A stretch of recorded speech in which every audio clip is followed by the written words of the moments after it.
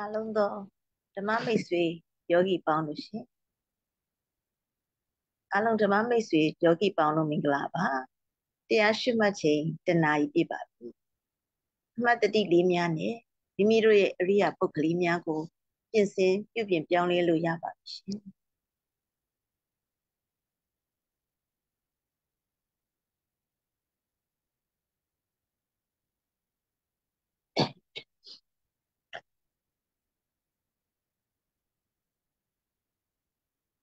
ဟုတ်ကဲ့ပါ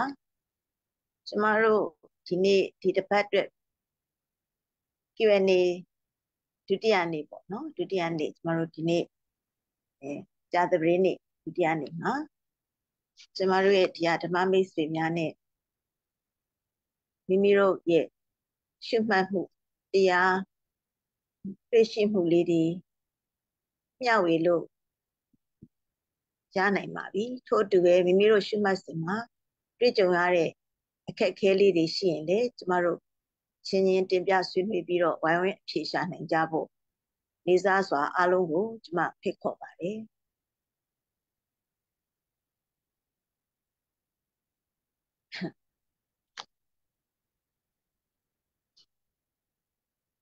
ကျမတို့မနေ့ကဆိုရင်ကျမတို့ရဲ့ဓမ္မမိတ်ဆွေများဖြစ်ကြတယ်ပေါ့နော်ဒေါက်တာဒေါခင်စောတန်းတို့ဒေါက်တာမာအေးတို့ဆ ရာဦးစောထိုက်တို့อ่ะလေသူတို့ရဲ့ရှုမှတ်စဉ်မှာကြုံတွေ့ရတဲ့အခက်အခဲလေးတွေယတနာလေးတွေကိုအားလုံးပုံပွင့်လင်းလင်းပဲဒီလိုသားလေးဆွေးနွေးသွားကြတယ်စိတ်လည်းစိတ်ဝင်စားစရာကောင်းသလိုကျမတို့အားလုံးအတွက်လေဒီအခက်အခဲလေးဟာတကယ်တော့ဟိုကျမတို့ယောဂီတော်တော်များများတရားထိုင်စဉ်မှာတွေ့ကြုံတတ်ကြတဲ့အခက်အခဲလေးတွေဖြစ်တဲ့အတွက်ကြောင့်လေအကုန်လုံးအတွက်လေအများကြီးအကျိုး ရှိပါတယ်။ပြန်လည်ပြီးတော့ဆွေးနွေးပေးကြတဲ့သူအပေါင်းတို့ကိုလည်းကျမတို့အများကြီးပဲကျေးဇူးတင်ရပါတယ်။နော်ဒီနေ့လည်းဒီလိုပဲကျမတို့ကနော်ဒီတရားရှုမှတ်မှုရဲ့နော်ဒီအကြောင်းအရာလေးတွေဟာလူတဦးနဲ့တဦးဆွေးနွေးဝိုင်းဝန်းဖြေရှားကြတဲ့အခါမှာတဦးတယောက်တည်းသာမကအားလုံးအတွက်အများကြီးလည်းအကျိုးရှိလို့ကုသိုလ်တွေလည်းအများကြီးပဲဖြစ်ပါတယ်။ဒီနေ့မှလည်းကျမတို့ဒီလိုပဲပေါ့နော်တရားရှိမှတ်မှုလေးတွေကိုဆွေးနွေးပေးကြဖို့ ဖိတ်ခေါ်ပါတယ်ကြိုဆိုပါတယ်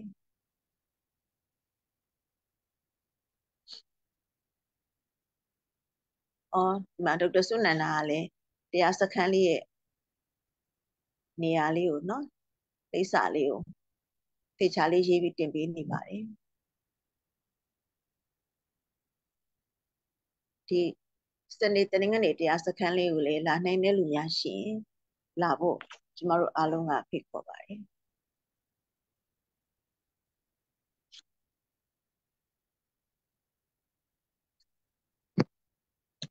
ဟုတ်ကဲ့ဒီနေ့လဲကျမတို့ဒီတနားကြီးလေးမှာပေါ့နော်ကျမတို့ဒီဒီကဓမ္မမိတ်ဆွေယောဂီပေါင်းတို့ဟာမိမိတို့ရဲ့ဒီရတဲ့တနားကြီးအချိန်လေးကိုအသုံးပြုပြီးတော့တကယ်ကိုအင်တရီအပြည့်နဲ့ပေါ့နော်တတိကောင်းကောင်းလေးနဲ့ရှုမှတ်နေကြတာအဖြစ်မတမ်းမှပဲညစီညတိုင်းပေါ့နော်ကြည့်လို့ရှုလို့မဝနိုင်တဲ့မြင်ကွင်းတစ်ခုပါကျမတို့အဲ့တော့ဒီနေ့မှလည်းပေါ့နော်ဒီအသီးသီးမှာတော့ဒီရှုမှတ်တဲ့ဖြစ်စဉ်လေးတွေပေါ်မှာ ပြောစရာဆွေးနွေးစရာလေးတော့တကယ်တော့ရှိနေမှာပါအဲကျမတို့အဲ့တော့တယောက်လောက်ကစပြီးဆွေးနွေးလိုက်ရင်တော့လေဒီလိုပဲတန်တဲ့လူတွေကလည်းဝိုင်းဝန်းပြီးတော့ဆွေးနွေးကြမှာပါဒါမှမဟုတ်ကျမတို့ကဒီနေ့မှာပေါ့နော်ဟိုကိုတွေ့ရှိတဲ့ဟာလေးကိုပေါ့နော်ဆွေးနွေးလို့ရပါတယ်မတွေ့ရင်လည်းမတွေ့တဲ့အကြောင်းပေါ့တွေ့ရင်လည်းတွေ့တဲ့အကြောင်းလေးဒါလေးတွေကိုကျမတို့ဆွေးနွေးလို့ရပါတယ်နော်အဲ့တော့ကျမဒီမှာရှုမှတ်နေတဲ့ယောဂီများကိုအဲသူတရားထိုင်နေအစဉ်တွင်းမှာပေါ့နော် အားလုံးကလည်းတကယ်တော့စိတ်ဝင်စားနော်ဟိုတည်တည်ချာလေးရှုမှတ်နေကြတာပါအဲ့တော့ဒီမှာလေးခုနကကျမကြည့်ရတဲ့မှာလေးဟိုကမဒေါ်မြင့်မြင့်စောလာပြီဒေါ်မြင့်မြင့်စောကလေတည်တည်ချာချာကိုကျမရှုမှတ်နေတာလေးကိုလေတကယ်လေးကိုကြည်ညိုစရာတွေ့ရတယ်ဒေါ်မြင့်စောကမြန်လေကိုယ့်ရဲ့အတွေ့အကြုံလေးတွေကိုမြန်နင်းငယ်ကျမတို့ပေါ့နော်ဝေးမျှပေးနိုင်မလားလို့ကျမဖိတ်ခေါ်လို့ရမလားရှင်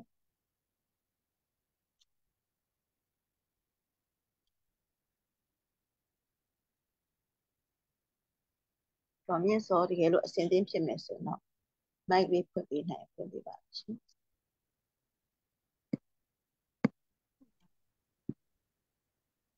ဟုတ်ကဲ့ပါ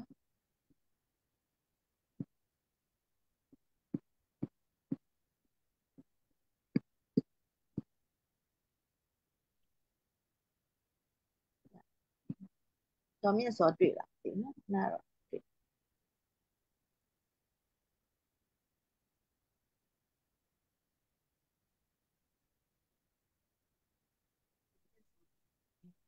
တွေ့ဒေါ်မြင့်စောတကယ်လို့အဆင်သင့်မဖြစ်ရင်လေညီမလေးစုံမိုးထွေးမြန်ဆွေးနွေးမလားစုံမိုးကတော့အမြဲတမ်းတူတူဆွေးနွေးပေးပါတယ်ကဲမိုက်လေးတစ်ချက်ဖွင့်ပေးမယ်နော်အဲဆိုစုံမိုးအရင်လေးဆွေးနွေးပေးပါလားကဲပါဟုတ်ကဲ့ပါမင်္ဂလာပါမင်္ဂလာပါစုံမိုးဟုတ်ကဲ့ပါရှင်ဟိုလေဒီတပတ်အတွင်းမှာတော့လေကျမကတော့ဘလို့ဖြစ်နေတော့ဆိုတော့ အဲတစ်ချက်ကတိတ်နေမကောင်းတာလည်းပါတယ်နောက်ပြီးတော့ဟိုတခြားကိစ္စလေးတွေပေါ့အလုပ်နည်းနည်းရှုပ်တော့လေအဲတရားထိုင်တဲ့ပိုင်းမှာတရားမတက်ဘူးပဲပြောရမလားနည်းနည်းဂယူဆိုင်ပြီးပြန်ထိုင်နေရတာပေါ့ပြောမဆိုစစ်အမရဲ့ဟိုအစအစပြန်စနေတယ်ဟုတ်ကဲ့ဟုတ်ကဲ့ဟုတ်ကဲ့ပါအဲမနေ့တော့အမဒေါက်ခင်စောတန်းတို့ပြောလို့နေမကောင်းတဲ့အတွက်ဘာမှဟိုလည်းမဖြစ်ဘူးပါညာကျမလည်းဒီလိုပါပဲမထူးပါဘူးဒါပေမဲ့လေဟို ကိစ္စမရှိဘူးပေါ့နော်ဘာဖြစ်လို့လဲဆိုတော့ကျမတို့ကနေတိုင်းလုပ်နေမှာပဲနေနေတိုင်းဟိုအချိန်ရရင်ရသလိုဒီလိုလေးပဲအထုတ်နေသွားမှာပဲဖြစ်တဲ့အတွက်ဟိုနေမကောင်းတော့လည်းမကောင်းတဲ့အလျောက်ကောင်းတော့လည်းကောင်းတဲ့အလျောက်ဒီလိုလေးပဲပုံမှန်သွားနေမှာပဲဖြစ်တဲ့အတွက်ဟိုတိတ်တော့စိတ်ထဲမှာတော့ဘယ်လိုမှတော့မနေဘူးပေါ့ဟုတ်ကဲ့နောက်တစ်ခုရှိတာကဟိုတခါတလေမှာဟို အရှုခံမတွေ့ဘူးတွေ့တယ်ဆိုတာတဲ့အတွတွေးတွေများတယ်မများဘူးဆိုတာတက်လေဘယ်မှကိုဖြစ်ရှိလို့မဖြစ်နိုင်ဘူးဆိုတာလေဒါလည်းနေစတရားတစ်ခုပဲလို့ကျမတို့ဒီလိုလေးပဲဆင်ကျင်လိုက်ပါတယ်ဟုတ်ကဲ့ပါအဲ့လိုလေးပဲရှုမှတ်နေပဲဒီဒီဒီသွားနေတာပါပဲအဲ့တော့နေမကောင်းဆိုတော့လေနေမကောင်းတဲ့အရာလေးကိုအမမကောင်းနေကြိုက်နေတယ်ပေါ့အမဒီကောင်းကြိုက်တာလေးကိုပဲကျမအရှုခံတစ်ခုအနေနဲ့ပြန်ပြီးရှုနေလိုက်တယ်အဲ ဒါပြီးတော့ဟိုအတွေးတွေများတယ်ဆိုရင်လည်းဒီအတွေးများတာကိုပဲဒီစိတ်ကလေးကိုပဲကပြန်ပြန်ပြီးရှုနေလိုက်တယ်ဒီလိုလေးနဲ့ပဲဒီရက်ပိုင်းဘာဖြစ်နေတာစိတ်တွေတူတူတော့ဘာမှမရှိပါဘူး ဟုတ်ကဲ့ပါစုမိုးဟုတ်ကဲ့ ဟုတ် ဟုတ်ကဲ့စုမိုးကလေဟိုအရင်လဲဒါစုမိုးဆွေးနွေးတာလေးတွေကိုလည်းကျမတို့နာကြားပူပါတယ်เนาะစုမိုးကအရင်ကလည်းဒီရုပ်ကလေးတွေရဲ့သဘောလေးတွေကိုလေတော်တော်လေးကို ဟိုသိမြင်ပါတယ်เนาะဒီလိုပဲကိုစုမိုးပြောတာတွေကတကယ်ကိုပေါ့เนาะမှန်ပါတယ်ဟိုအဓိကတော့စိတ်ထားလေးနှလုံးသွင်းလေးမှန်တာပေါ့เนาะမနေ့ကလည်းကျမတို့ဒီအကြောင်းကိုတော့အတော်အသင့်ဆွေးနွေးခဲ့ကြတယ်လေအဲစုမိုးကပြောသလိုပဲအဲအမြဲတမ်းပေါ့เนาะဒီဟာတွေက အရှုခံကလည်းတွေ့ချင်မှတွေ့တယ်ကိုယ်စိတ်ကလည်းအဲ့ဒီအချိန်မှာအဲအဲတတိယရှိချင်မှရှိတယ်ပေါ့နော်အကြောင်းကြောင်းကြောင့်လေအဲ့တော့ကိုယ်စိတ်ဘက်ကသဘောထားရဲ့အရှုခံရဲ့နှစ်ဖက်စလုံးကလည်းစုံမိုးပြောဆိုအနတ္တသဘောလေးတွေ အများကြီးပဲပါပါတယ်ပေါ့နော်အခုဆိုမို့လောက်တာတွေကလည်းမှန်ပါတယ်နော်ကိုကအတွေးရှိရင်ဒီအတွေးကိုပြန်ပြီးတော့ရှုတယ်ပေါ့နော်အဲအဓိကဒီအတွေးလေးကြောင့်ကိုဘာဖြစ်သွားလဲဒါလေးတွေကိုလည်းကိုဆက်ကြည့်နိုင်ကြည့်တယ်ပေါ့ဆရာပြောသလိုကိုယ်ထဲမှာဒီအတွေးကြောင့်ဘာဝေဒနာလေးတွေဖြစ်သွားလဲနော်အဲ့အလေးတွေကိုပါကိုကဆက်ပြီးတော့ရှုနိုင်ရင်ဒါပိုပြီးကောင်းပါတယ်ခေါင်းကိုက်ရင်လည်းခေါင်းကိုက်တာလေးရှုခံဖြစ်ထားသွားတယ်ပေါ့နော်ဒါတွေကလည်းအလွန်ပဲမှန်ကန်တဲ့စိတ်ထားတွေပါဟုတ်ပါတယ်နော်အဲ့တော့အဲအခုလိုပဲပေါ့နော်စမှုရဲ့ စိတ်ကလေးကိုပြန်ပြီးတော့ဒီလိုပဲအေးစေးအောင်မနေ့ကကျမတို့လည်းဆွေးနွေးခဲ့တဲ့ဒီအကြောင်းလေးနော်အဲတနည်းနည်းနဲ့ပေါ့စိတ်ကလေးကိုပြန်ပြီးအေးစေးအောင်အဲအဲ့လိုလေးပေါ့နော်စိတ်ရှည်ရှည်လေးနဲ့အဲဇာပြောလို့နော်ကျမတရားလုတ်ကတနေ့ရဲ့လုတ်မဟုတ်ဘူးသုံးပြောတာဟုတ်တယ်နေ့စဉ်လုပ်ရမယ်လို့နော်အဲ့တော့ကောင်းသည်ဖြစ်စေမကောင်းသည်ဖြစ်စေနော်ဒါတွေကအဓိကမဟုတ်ဘူးမနေ့ကလည်းဆရာဖိလစ်ကဒါကို highlight လုပ်သွားတယ်လေဟိုအခုရှုနေတဲ့အချိန်လေးကိုပဲသူကအရေးစိုက်ရအောင် เนาะဒါအရင်တော့ဖြစ်တိုင်းနောက်ဖြစ်မဲ့ဟာတွေဒါတွေကိုကိုကသိမတွေးပဲနဲ့เนาะဒီကိုလက်ရှိရှုနေတဲ့ပြစ္ဆုတ်ပန်တရားလေးမှာပဲတတ်နိုင်တဲ့လောက်စိတ်အေးအေးလေးထားပြီးစိတ်ရှည်တိခံဆိုတဲ့အတန်ပေါ့เนาะအဲ့ဒါလေးပေါ့เนาะဇွဲတန်တန်လေးကျမတို့ ဆက်ပြီးရှုမှတ်ဖို့ပေါ့နော်ဒါမှန်ပါတယ်ဆိုမှပြောတာနော်ပြန်လဲဆိုမှပြန်ပြီးတွေ့မှာပါဒီလိုပေါ့နော်ဟုတ်ကဲ့ပါ ကျမတို့ကအလုပ်တွေလည်းလုပ်နေရသေးတယ် ဟုတ်တာ ဒါ ပေါ့ ကျမရေးဆိုတော့လည်းကြုံရအောင်ပါပဲလို့နော်မရဲ့ အဲ့ အဲ့ ဒါ ဒါခါကျ ပေါ့ တော့ဒီဟာ မှပဲသွားနေတဲ့အတွက်အမြဲတမ်းနေ့တိုင်းတရားကိုဖြစ်ချင်တယ်လို့ကတော့မဖြစ်နိုင်မဖြစ်နိုင်ဟုတ်ကဲ့ဟုတ်ပါတယ်အဲ့ဒါကြောင့်ဒီပဲအစဉ်ပြေရမယ်ပါတယ်ရှုရှုရှုဒီကတော့ကိုရှုတဲ့အချိန်လေးမှာသတိဝိရိယလေးရယ်နောက်ပြီးတော့တေချာစိတ်ဝင်တစားလေးနဲ့ရှုသွားမယ်ဆိုရင်တော့ဟုတ်ပါတယ်မလို့ပါပဲအဲ့တော့ဟိုနေထိုင်စင်နေမကောက်ဘူးပေါ့နော်ဒါကျမတို့ကအများကျမတို့ပါဝင်ပေါ့အများစုကတော့အရင်တည်းကပေါ့နော်ကျမတို့ကဒီ ထိုင်တဲ့အချိန်မှာပဲအဲဒါလေးကိုကိုယ်ရှုမှတ်မယ်လို့အရင်တော့ကတော့ဒီလိုပဲတကယ်ကိုအဲ့လိုပဲကြုံကြည်ခဲ့တယ်ပေါ့နော်နောက်ပိုင်းဒါလေးတွေကိုကိုကတိလာတယ်တိလာတယ်ဖြည်းတိလာတယ်နားလဲလာတယ်ခါကြတော့မှအော်ဒီဟာတွေမကဘူးကိုဒါလေးကတစ်နေ့လုံးနေစင်မှာလဲအ ਨੇ ဆုံးတော့တတိလေးတက်နိုင်တယ်လို့ကပ်ပြီးနေနိုင်ရင်ဒါလေးကလည်းကျမတို့ကတရားထုတ်တာပဲဆိုတာလေးကိုလေခုနောက်ပိုင်းမှာသဘောပေါက်ပေါက်လာတဲ့အမျှအဲအဲ့ဒါလေးကိုပေါ့နော်နည်းနည်းနည်းနည်းချင်းရပဲပဲဖြစ်ဖြစ်စပြီးတော့လေ့ကျင့်လာ ပြီဒါလေးကဒါပဲဖြစ်ဖြစ်ဟိုတော်တော်ကိုအကျိုးများပါတယ်ဒါလေးကိုလည်းဒီဟာဓမ္မမိတ်ဆွေတွေတော်တော်များများလဲသိပြီးကြပြီထင်ပါတယ်ကိုယ်တိုင်လည်းအများကြီးလေ့ကျင့်နေကြတဲ့လူတွေရှိမယ်လို့လည်းယုံကြည်ပါတယ်ဆိုမို့ရင်เนาะအဲ့ဒါကြောင့်ဆိုမို့ပြတွေကိုကျမတို့လက်ခံပါတယ်တကယ်လဲဒါအမှန်တရားတွေပါเนาะအားလုံးဒီအနတ္တသဘောပဲဖြစ်တယ်ဒါပေမဲ့ဒီသဘောတဘာဝလေးတွေကိုကိုကတတ်နိုင်တဲ့လောက်ပေါ့เนาะကိုအမှန်တိုင်းကိုကမြင်နေအောင်ဒါလေးကိုတော့ အဲဒါလေးကိုမပြတ်ပေါ့နော်မပြတ်တတ်နိုင်သလောက်တော့ဘာလဲဆိုတော့ကျမတို့တရားလုကဟိုပြတ်သွားရင်ပြတ်သွားသလောက်အချိန်ကျသွားတယ်ပေါ့နော်အဲ့လိုလေးရှိတော့လေအဲရသလောက်ကလေးရသလောက်ကလေးပဲအဲအချိန်နည်းတယ်များတယ်မဆိုတာပေါ့အဲအဲ့လိုလေးပေါ့နော်အဲ့လိုလေးနှလုံးသွင်းမှန်လေးနဲ့ပြန်ပြီးတော့ကြိုးစားလို့ရပါတယ်ဟုတ်ကဲ့ပါနော်ကျေးဇူးတင်ပါတယ်တမာတိကြောက်ပါမှာကြောက်တော့လေတမာတိကြောက်ပါမှာတော့ကြောက်တယ်ဘာဖြစ်လို့ဆိုတော့ကိုကလက်အများကြီးချိန်ယူပြီးတော့လှုပ်လာအကျင့် ကြိုးစားလာဆိုတမာတိတော့မကြားစေချင်ဘူးဒါကြောင့်မို့လို့ view site ပြီးတော့ဒီလိုပဲသွားလာလှုပ်ရှားနေတဲ့အချိန်မှာလဲ view site ပြီးတော့အဲ့ပေါ့အဲ့လိုတိတာလေးပဲမှတ်ပေါ့မှအဲ့လိုလေးတော့ကြိုးစားဖြစ်တာပဲ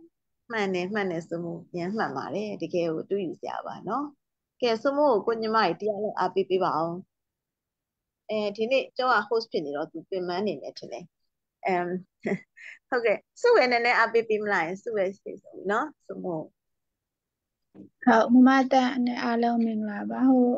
မဆိုမိုထွေပြောတာလေအမငကိုတွေကလည်းရှုတဲ့အချင်းရှိပြီဆိုတော့အမခုနကပြောသူရှုတဲ့စိတ်ဘက်ကကိုယ်မှန်နေပြီဆိုလို့ရှိရင်အရှုခံရတစ်ချိန်ချိန်တော့ပြန်ပြမှာပါပဲလေ။နောက်ဆရာလည်းအမြပြောပါတယ်ကျမတို့ကကြတော့တတိယနေစပြီးပြစ္ဆုတ်ပံတဲ့တယ်ဆိုလို့ရှိရင်ပညာပရမတ်ဖြတ်ဖို့အရေးမကြီးဘူး။အမအခုဟို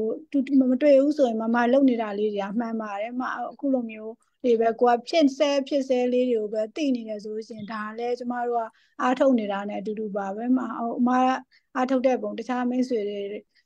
အတူယူအားကြလို့ကျမတို့လည်းမှတ်သားရပါတယ်မဟုတ်ကဲ့ဟိုပညာပရမတ်ဖြစ်တာတော့လေထိုင်စင်မှာအကျင့်ရတဲ့အချိန်မှာပို့တယ်နောက်ပြီးအခုပြောနေကြတော်တော်များများတမာတိဆိုတာလေကျမတို့လည်းအစတော့ငါဟိုဆရာကြီးနဲ့မတွေ့ခင်တော့အဲ့လိုမျိုးပေါ့နော် ဟိုအချိန်ယူပြီးအများကြီးယူမှရတယ်တကယ်တမ်းကျအခုမမတန်တို့ကျမတို့ရိတ်တာသွားနေတဲ့လူတော်တော်များများဆိုလို့ရှိရင်ဆရာရဲ့ဒီတတိကိုအဓိကထားပြီးတော့တမာတိထူထောင်တဲ့အခါကျတော့ဟိုကိုကလေအလေးချိန်နဲ့ရလာတဲ့အခါကျတော့တမာတိထိုင်ပြီးအရှုခံတွေးဖို့ဆိုတာမှမိနစ်ပိုင်းနဲ့ရပါတယ်မှအားကြောင့်မလို့အဲ့ဒါလေးကိုလည်းအပေးချင်ပါတယ်ကျမတို့ကတမာတိကို ဟိုနိုင်ဘလောက်ထိုင်မှဟိုဘယ်နှမိနစ်ထိုင်မှတစ်နေ့လုံးထိုင်မှအဲ့လိုကြီးတွေမဟုတ်တော့ပါဘူးမအလေးကျင့်ရလာပြီးတော့ကိုကလေနီးစနစ်တာမှန်နေဆိုရင်ကျမတို့ခဏိကတမာတိနဲ့ကလေမိနစ်ပိုင်းနဲ့လည်းအရှုခံတွေးနိုင်ပါတယ်မအဲ့လိုလေးပဲအပေးချင်ပါတယ်မမဟုတ်ကျေးဇူးပါဆုံးနေဟုတ်ဟုတ်ပါဆိုမွေဟိုဒေါ်စွနန္ဒာပြောတာလေဟိုတကယ်ကိုပဲလေဟိုဒါတွေကကိုယ်တိုင်လုံးကြည့်မှဟိုတဖြည်းသိလာတာဒီလား ဟိုကျမတို့လည်းအဲ့လိုပဲစရှုကကြတော့ဟာမတွေ့ဘူးမတွေ့ဘူးမတွေ့ဘူးဒီရှုကအောင်နော်မတွေ့လို့ဟာတဲတန်စိတ်တွေအဲအမျိုးမျိုးပေါ့နော်ရောက်ရက်ခတ်တယ်တွေ့ကျင်တာတွေများတွေ့ကျင်တာတွေများလေမတွေ့လေတကယ်တွေ့လာတဲ့ခါကျအဲဟုတ်ရဲ့လားဒီလောက်ပဲခုနဆွပြောသဘောဒီလောက်ပဲမြန်မြန်ဆန်တွေ့လားဟုတ်ရဲ့လားအဲ့လိုတွေပြန်ဖြစ်သွားပြီအာအဲ့ဒါကိုလိုက်ပြီးတခါမေးရလျှောက်ရပြန်ဒါဟုတ်ရဲ့လားဒါရှုကတွေ့တာဟုတ်ရဲ့လားအဲ့လိုတွေဖြစ်ပြန်အောင်လေအဲ့တော့ဘာပဲဖြစ်ဆိုလိုတာ အဲကိုယ့်ရဲ့ခုနပြောသလိုပေါ့နော်အာယုံဘက်ချမ်းကိုယ်စိတ်ဘက်ချမ်းနှစ်ချမ်းရှိတဲ့အခါကျတော့ဒီနှစ်ခုစလုံးကအမြဲတမ်းကိုက်ညီနေဖို့တော့မဖြစ်ဘူးပေါ့နော်ဒါပေမဲ့အဓိကတော့ဆရာပြောလို့အာယုံဘက်ချမ်းကမမှားဘူးလေသူကတော့အမြဲမှန်နေတာပဲလေသူကရှိနေတယ်ရှိပြီးသားသဘောဆိုတော့ဒါကိုယ်စိတ်တရားကိုစိုးစမိုးညီမစမိုးလို့ပဲပေါ့နော်စိတ်သားသဘောထားလေးမှန်လာတယ်ဒီအရှုခံတွေ့မှာပါနော်အဲ့တော့ဘာမှ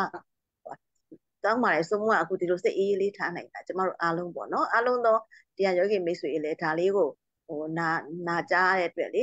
အများကြီးစိတ်ထဲမှာဟိုတက်လက်တက်တာသွားကြမယ်ဒီလိုမျိုးရှုခံမတွေ့ရတွေလေဒီထဲမှာရှိနေမှာပါနော်အဲဒါကေစောသန်းဆိုလေမနေ့ကသူစိတ်ထဲမှာမကောင်းဘူးပေါ့နော်သူကလည်းအမတန်မှကြိုးကြိုးဆဆနဲ့ဒီဝရိယအပြည့်နဲ့တက်တာအပြည့်နဲ့တားထုတ်တဲ့လူဆိုတော့သူဒါလေးကိုသူစိတ်ထဲမှာတက်လိုက်ကြလိုက်ဖြစ်တယ်စိတ်မကောင်းဘူးပေါ့နော်ဒါလေးကကိုချင်းစာပါတယ်ဒါပေမဲ့အခုစိုးမိုး ပြောသွားတဲ့ဟာလေးတွေကကျမတို့အားလုံးအတွက်အများစွာမှတ်သားတွေ့ယူပါပါကျေးဇူးတင်ပါတယ်ဆိုရင်နော်ဟုတ်ကဲ့ပါဟုတ်ကဲ့ပါတော့ခိုင်မခိုင်ခိုင်မြင်ကိုဆွေးနွေးဖို့အတွက်ကျမတို့ဖိတ်ခေါ်ပါတယ်ရှင်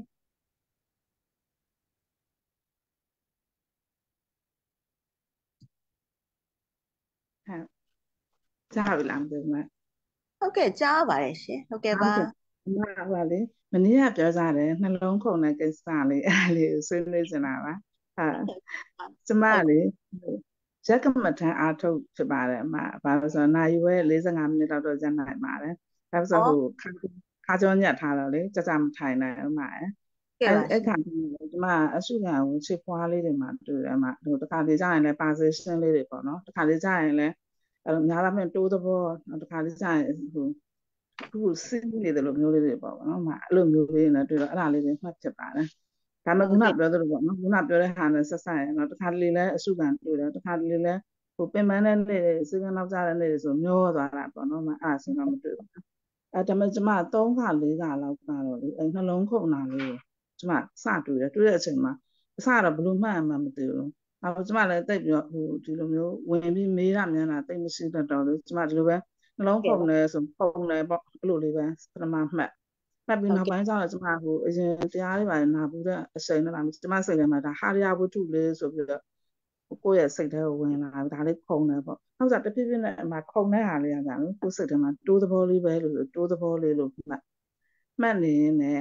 တခါကြာရင်အမှအဲ့တိုးသဘောကလေဘယ်လောက်ထိပြင်းထန်လဲဆိုကျမဟိုအရင်ကြီးပေါ့ ဒီဇင်ဘာကြီးတစ်ခုလုံးက vibration ဖြစ်သွားတယ်ဒုံဒုံဒုံနဲ့အဲ့လိုအဖြစ်ဖြစ်ဒါပေမဲ့ကျမမတို့လည်းမမေးတော့ဆက်မမှတ်တတ်ဘူးအဲ့ဒါကိုတိုးတိုးသဘောတိုးသဘောလို့ပဲစိတ်ထဲမှာပေါ့နော်ဒါဖောက်ပြန်နေတယ်ဒါပေမဲ့ခုနကဟိုမင်းချက်တယ်ဆိုကျမအသက်ရှူလိုက်တဲ့အချိန်မှာတော့အဲ့ခုနကပြောတဲ့ဒုံဆိုတဲ့ဟာကတော့ပျောက်တယ်အဲ့လိုအဲ့ဒါအသက်ရှူလိုက်ရင်ပျောက်တယ်ကျန်တဲ့အချိန်မှာဒုံဒုံဒုံနဲ့အဲ့တိုးသဘောလို့မှတ်တယ်အဲ့နောက်ကြတော့ဟိုအဲ့ဓမ္မမိတ်ဆွေပြောပြောသလိုပေါ့နော်မွန်းချက်တယ်စား ဟုတ်တယ်အဲ့လိုအချိန်မှာတော့ဟိုနည်းနည်းစိတ်ထဲမှာမွန်းချက်တယ်လို့တော့ခံစားရတယ်အမနီကအမားတို့အဲ့ပြောတဲ့ခါကျတော့ဒီမှာအဲကျမလည်းအဲ့လိုမျိုးတော့ဖြစ်ပူးတယ်ပေါ့နော်အာအမားတို့နဲ့ဝင်ပြီးတော့အဲ့ဒါလေးဆွေးနွေးကြလို့ပါဘယ်လိုစမှတ်လဲဆိုတော့တိုးသဘောလိုပဲမှတ်တယ်မှာအဲ့ဒါကိုမှန်ရလားတော့ဟုတ်ဟုတ်ကဲ့ထော်ခိုင်မြင်မှန်တာပေါ့မှန်တာပေါ့တော်ခိုင်မြင်တကယ်တော့ကျမတို့မှန်မှာအဲ့တိုးသဘောကိုပဲမှတ်ရမှာလीနော်ဟုတ်တယ်နော်အဲ့တော့တော်ခိုင်က အဲကျောက်ဆက်ဆွေးနွေးသွားတဲ့ဟာလေးမှာဒီဟာလေးပါသွားတယ်ပေါ့နော်ဒါကျမတို့စီကလည်းပြန်ပြီးတော့ဒေါ်အိခိုင်ပါဝင်တော်လေးဆွေးနွေးပါတယ်အဲအဲ့တော့ဟိုကျမတို့ရဲ့တရားရှုမှတ်တဲ့အခါမှာ principle ကတော့ဒီပေါ်ရပြရထင်ရှားရပေါ့နော်ထင်ရှားရဆိုတော့ထင်ရှားတဲ့ဟာကိုပဲအရင်ရှုတာလည်းမမှားပါဘူးနော်အဲ့တော့တတိလေးဖြစ်လို့ဒါတနေရာရာက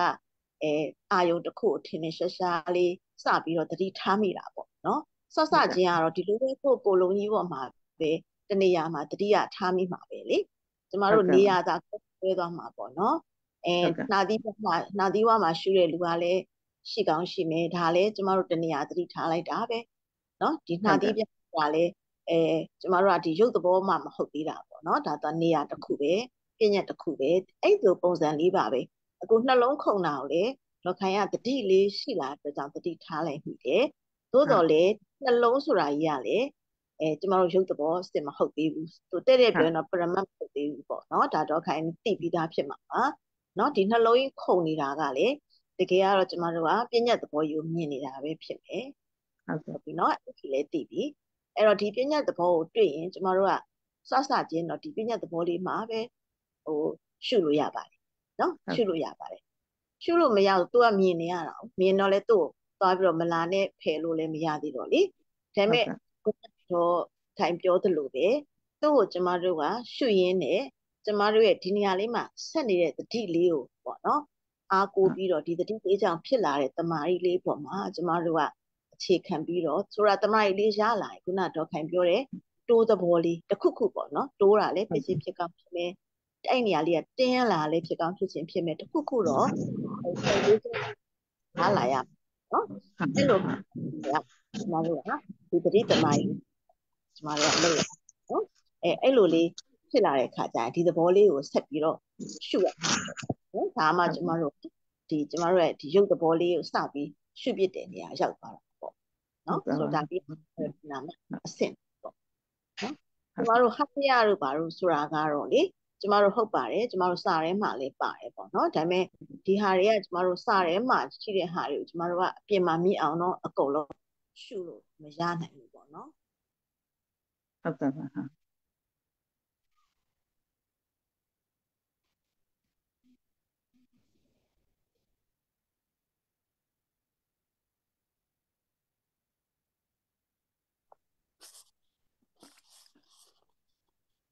မနှံ့လိုင်းကြသွားတာလားမသိ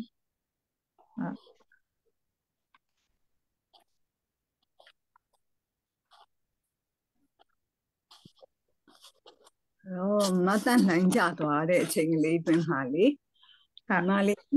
ခိုင်မြင့်ရေမလားဟုတ်ကဲ့မမပဲငါညမလေးကိုတွေ့တော့တယ် အမမနေ့ကအမတို့ပြောတော့လေဝင်စင်းနေကောင်းမလားပေါ့နော်နောက်ဆိုမိုင်းခိုင်ပြောတော့အမကအဲမလည်းအဲ့လိုမျိုးတွေ့တယ်ဆိုတော့ကျမလည်းတွန်းအားဖြစ်သွားပြီးတော့အဲ့ဒါအမအဲအမတို့နဲ့တော့ဝင်ဆွေးနွေးကြည့်အောင်မယ်လို့နောက်ပြီးအဲ့လိုဖြစ်တဲ့ချိန်မှာဘာလို့လဲကိုကဟိုဆွေးနွေးကြစိတ်ဖြစ်သွားလဲဆိုတော့ခြေထောက်မှာအဲမတက်ရက်တဲ့အမရဲ့ခြေထောက်မှာရှိတဲ့အားဒီအားလုံးရဲ့ကြော်လွန်ပြီးတော့ဒီနှလုံးခုန်တာကြီးကကျမဘလို့မှမဆူလို့မရအောင်ကိုသူကလေအရန်ကိုတိုးလာတာအရန် vibrate ဖြစ်လာ ဖြစ်လာကျမကျန်လာတဲ့အားလုံးကိုကျမရဲ့အကျင့်အရာလေးကို relax observe လုပ်ဖို့တစ်ခါလေကြာရင်မလုပ်ဖြစ်ဘူးအမရဲ့မေ့မေ့ပြီးတော့အခြားပေါ်တဲ့ဟာကိုတတ်တတ်စုတယ်ဒီနေရာနဲ့ခုနေရာဒီနေရာနဲ့ခုနေရာအဲ့ချိန်မှာနှလုံးခုန်တဲ့ဟာဘယ်လိုမှသူ့အနေကလေးလောက်ထားလို့မရတော့ဘူးဗျအမဒါပေမဲ့ဖြစ်တိုင်းလည်းအမြဲမဖြစ်ဘူးအခုဆိုဖြစ်ဘူးလား3ချိန်4ချိန်လောက်ပဲအဲကျန်တဲ့အချိန်တွေမှာလည်းဒီနေ့ဆိုရင် အဲစကန်ပြန်တော့ကြတဲ့အခါဘလို့မှကျမအဆုခံရှာလို့မရဘူးအခါအခါဒီပြမှာဆူလိုက်ခြေထောက်မှာတိုးတာလေးကိုလုံးကြည့်လိုက်ဒါပေမဲ့နောက်မျောသွားတာလားမသိဘူးအဲ့လိုမတက်ရရပဲအိပ်ပျော်သွားတာတော့မဖြစ်နိုင်ဘူးပေါ့နော်မဒါပေမဲ့လည်းဒီမှာဘယ်မှရှာလို့မရအဲ့ဒါလေးကိုလည်းအမတို့ပြပြကြံလို့ပါဟာဟုတ်ကဲ့ပါအဲ့တော့လေညီမလေးပြောတဲ့အထဲမှာကိုကအဲဒါလေးပါသွားလေဆိုတော့ relax observe လို့ဖို့ကိုမိမိသွားတယ်ပေါ့နော် အဲ့ဒါလေးကတော့အရန်ရင်ကြီးတယ်အရန်ရင်ကြီးတယ်အဲ့ဒါလေးကိုတော့မေးမလျော့လေးပဲပေါ့နော်ကိုကဟိုအားထုတ်ရတဲ့ကမ္မထန်အားဖြင့်ကလည်း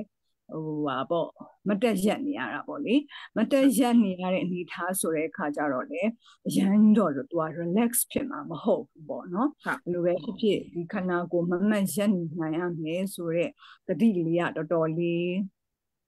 ထားထားရတဲ့အနေထားဖြစ်တာပေါ့နော်ထိုင်နေတာနဲ့တော့ဒူပေါ့အဲမမတ်ထိုင်နေတဲ့စားခဲ့လို့ရှိရင်ကိုကလထိုင်မှထိုင်နာကြတော့လေပို့ပြီးတက်တောင်တက်တာရှိတဲ့ထုံနည်းအဲ့လိုလေးတွေပေါ့နော်အဲ့တော့ဘယ်လိုပဲဖြစ်ဖြစ်တော့အနည်းဆုံးတော့စိတ်ကလေး relax ဖြစ်ဖို့ပေါ့နော်စိတ်ကလေးကိုတော့ကွာအေးအေးချမ်းချမ်းလေးပဲကိုထင်ရှားလာတာကိုသူပြလာတာကိုခန္ဓာပြလာတာလေးကိုပဲကို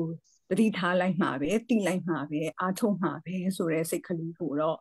ဟိုထားပြီးတော့ပေါ့နော်အဲ့လိုမျိုးစိတ်ကို next ဖြစ်အောင်တော့စူးစမ်းစီခြင်းနဲ့ပေါ့နော်အဲ့လိုလေးတော့ရှုမှတ်ဖို့ကိုလောမကြီးနဲ့ပေါ့အဲ့ဒါဆိုလို့ရှိရင်ဟိုဆရာဦးဖိလစ်ဆိုရင်ခဏခဏအများတန်းဆွေးနွေးပါတယ်သူကတကယ်ကို well prepared လေ ဟိုသူ့ကိုယ်သူ relax ဖြစ်အောင်ခနာကိုယ်ရောစိတ်ကော relax ဖြစ်အောင်အများရန်ကြိုတင်ပြင်ဆင်နေပေါ့လေနော်အဲ့လိုလေးတော့ relax လေးလုပ်ပြီးတော့ပဲမတက်ရက်တဲ့ခါမှာလဲခြေထောက်ကိုဆွဆွလေးရက်တာအထဲစားပဲလို့ရှိရင်နည်းနည်းကလေးခြေထောက်ကလေးခွာပြီးတော့ရက်ရင်ဟိုပို့ပြီးတဲ့အခါကျတော့ balance ပို့ဖြစ်တာပေါ့လေနော်ဟုတ်ကဲ့အဲ့လိုတဲ့ခါကျတော့အဲ့လိုလေးနဲ့ဟိုစိတ်ကိုအေးအေးလေးပဲထားမယ်မျက်စိမှိတ်လို့ကမှိတ်လို့ရတယ်မှိတ်ချင်ဖွင့်ထားမယ်ဆိုလည်းဖြစ်တယ် အနာလေးပဲကိုယ့်ရဲ့စိတ်ကလေးကိုကိုယ့်ရဲ့တတိပေါ့နော်တတိကိုခန္ဓာကိုယ်အနှံ့ကိုပဲခြုံကြည့်တဲ့ဟာနဲ့ပဲစတာပိုကောင်းတယ်အဲမတရတာမှာတော့အေးဆရာကြီးလည်းပြောတယ်မလည်းတခါတလေကြတော့အဲရန်ဟိုနေလို့နိုင်မကောင်းတဲ့အခါမျိုးတွေမှာလှုပ်ကြည့်ဘူးတယ်ပေါ့လေနော်ဟုတ်ကဲ့အဲ့ဒီတော့ စိတ်ကလေး relax ဖြစ်သွားတယ်ဆိုကြလို့ရှိရင်တော့ကိုယ့်ရဲ့ခန္ဓာကိုယ်တနေရာရာကပေါ့ကိုယ်ခက်ကိုယ်လုံးတနေရာရာအနေထူးခြားမှုတစ်ခုတစ်ခုကိုဟိုကစတော့တတိပြုမိလာတာပေါ့လေအဲ့လိုတတိပြုမိတဲ့အရာကခုနကပြောတဲ့နှလုံးခုန်နေဖြစ်နေခဲ့တယ်ဒါကအထင်ရှားဆုံးဖြစ်နေပြီဆိုကြလို့ရှိရင်တော့သူ့ကိုရှုမှတ်တာ ဟိုမှန်ပါတယ်ရှုမှတ်ရမှာပေါ့နော်ဟုတ်ဆိုတော့ထင်ရှားဆုံးနေရာဖြစ်နေတာကိုထင်ရှားဆုံးအရာဖြစ်နေတာခုနမတော်ခင်တန်းစင်ပြောသွားတယ်လို့ပဲနှလုံးဆိုတာရတော့ပြညတ်ပေါ့လေအမေဘယ်လိုပဲဖြစ်ဖြစ်ပေါ့ဒါပဲစတတိထားမိမှာပဲလေကိုယ့်ရဲ့ဟိုတတိဝိရိယတမာတိအနေထားလေးရဒီလောက်ပဲရှင်ထားပဲတွေ့မှာပေါ့အဲ့တော့ဒါလေးကိုသိပြီသိပြီဆိုခဲ့လို့ရှိရင်အဲ့နေရာလေးမှာပဲကိုယ့်ရဲ့တတိလေးကဆက်နေအောင်လို့ စက္ကာစက္ကာလေးဆက်တိပေးနေပေါ့စိတ်အေးအေးလေးနဲ့ပဲလေတိပေးတိပေးတိပေးနေရင်းနဲ့ပဲဟိုဘာပြောမလဲဆိုတော့နောက်ခါကျတော့ဘာဘာဘာကလေးပိုတိလာမလဲပေါ့နော်ဒါလေးကိုတော့နည်းနည်းလေးတော့အဲ့လိုဟိုဘယ်လိုပြောမလဲ အဲအာယုံလေး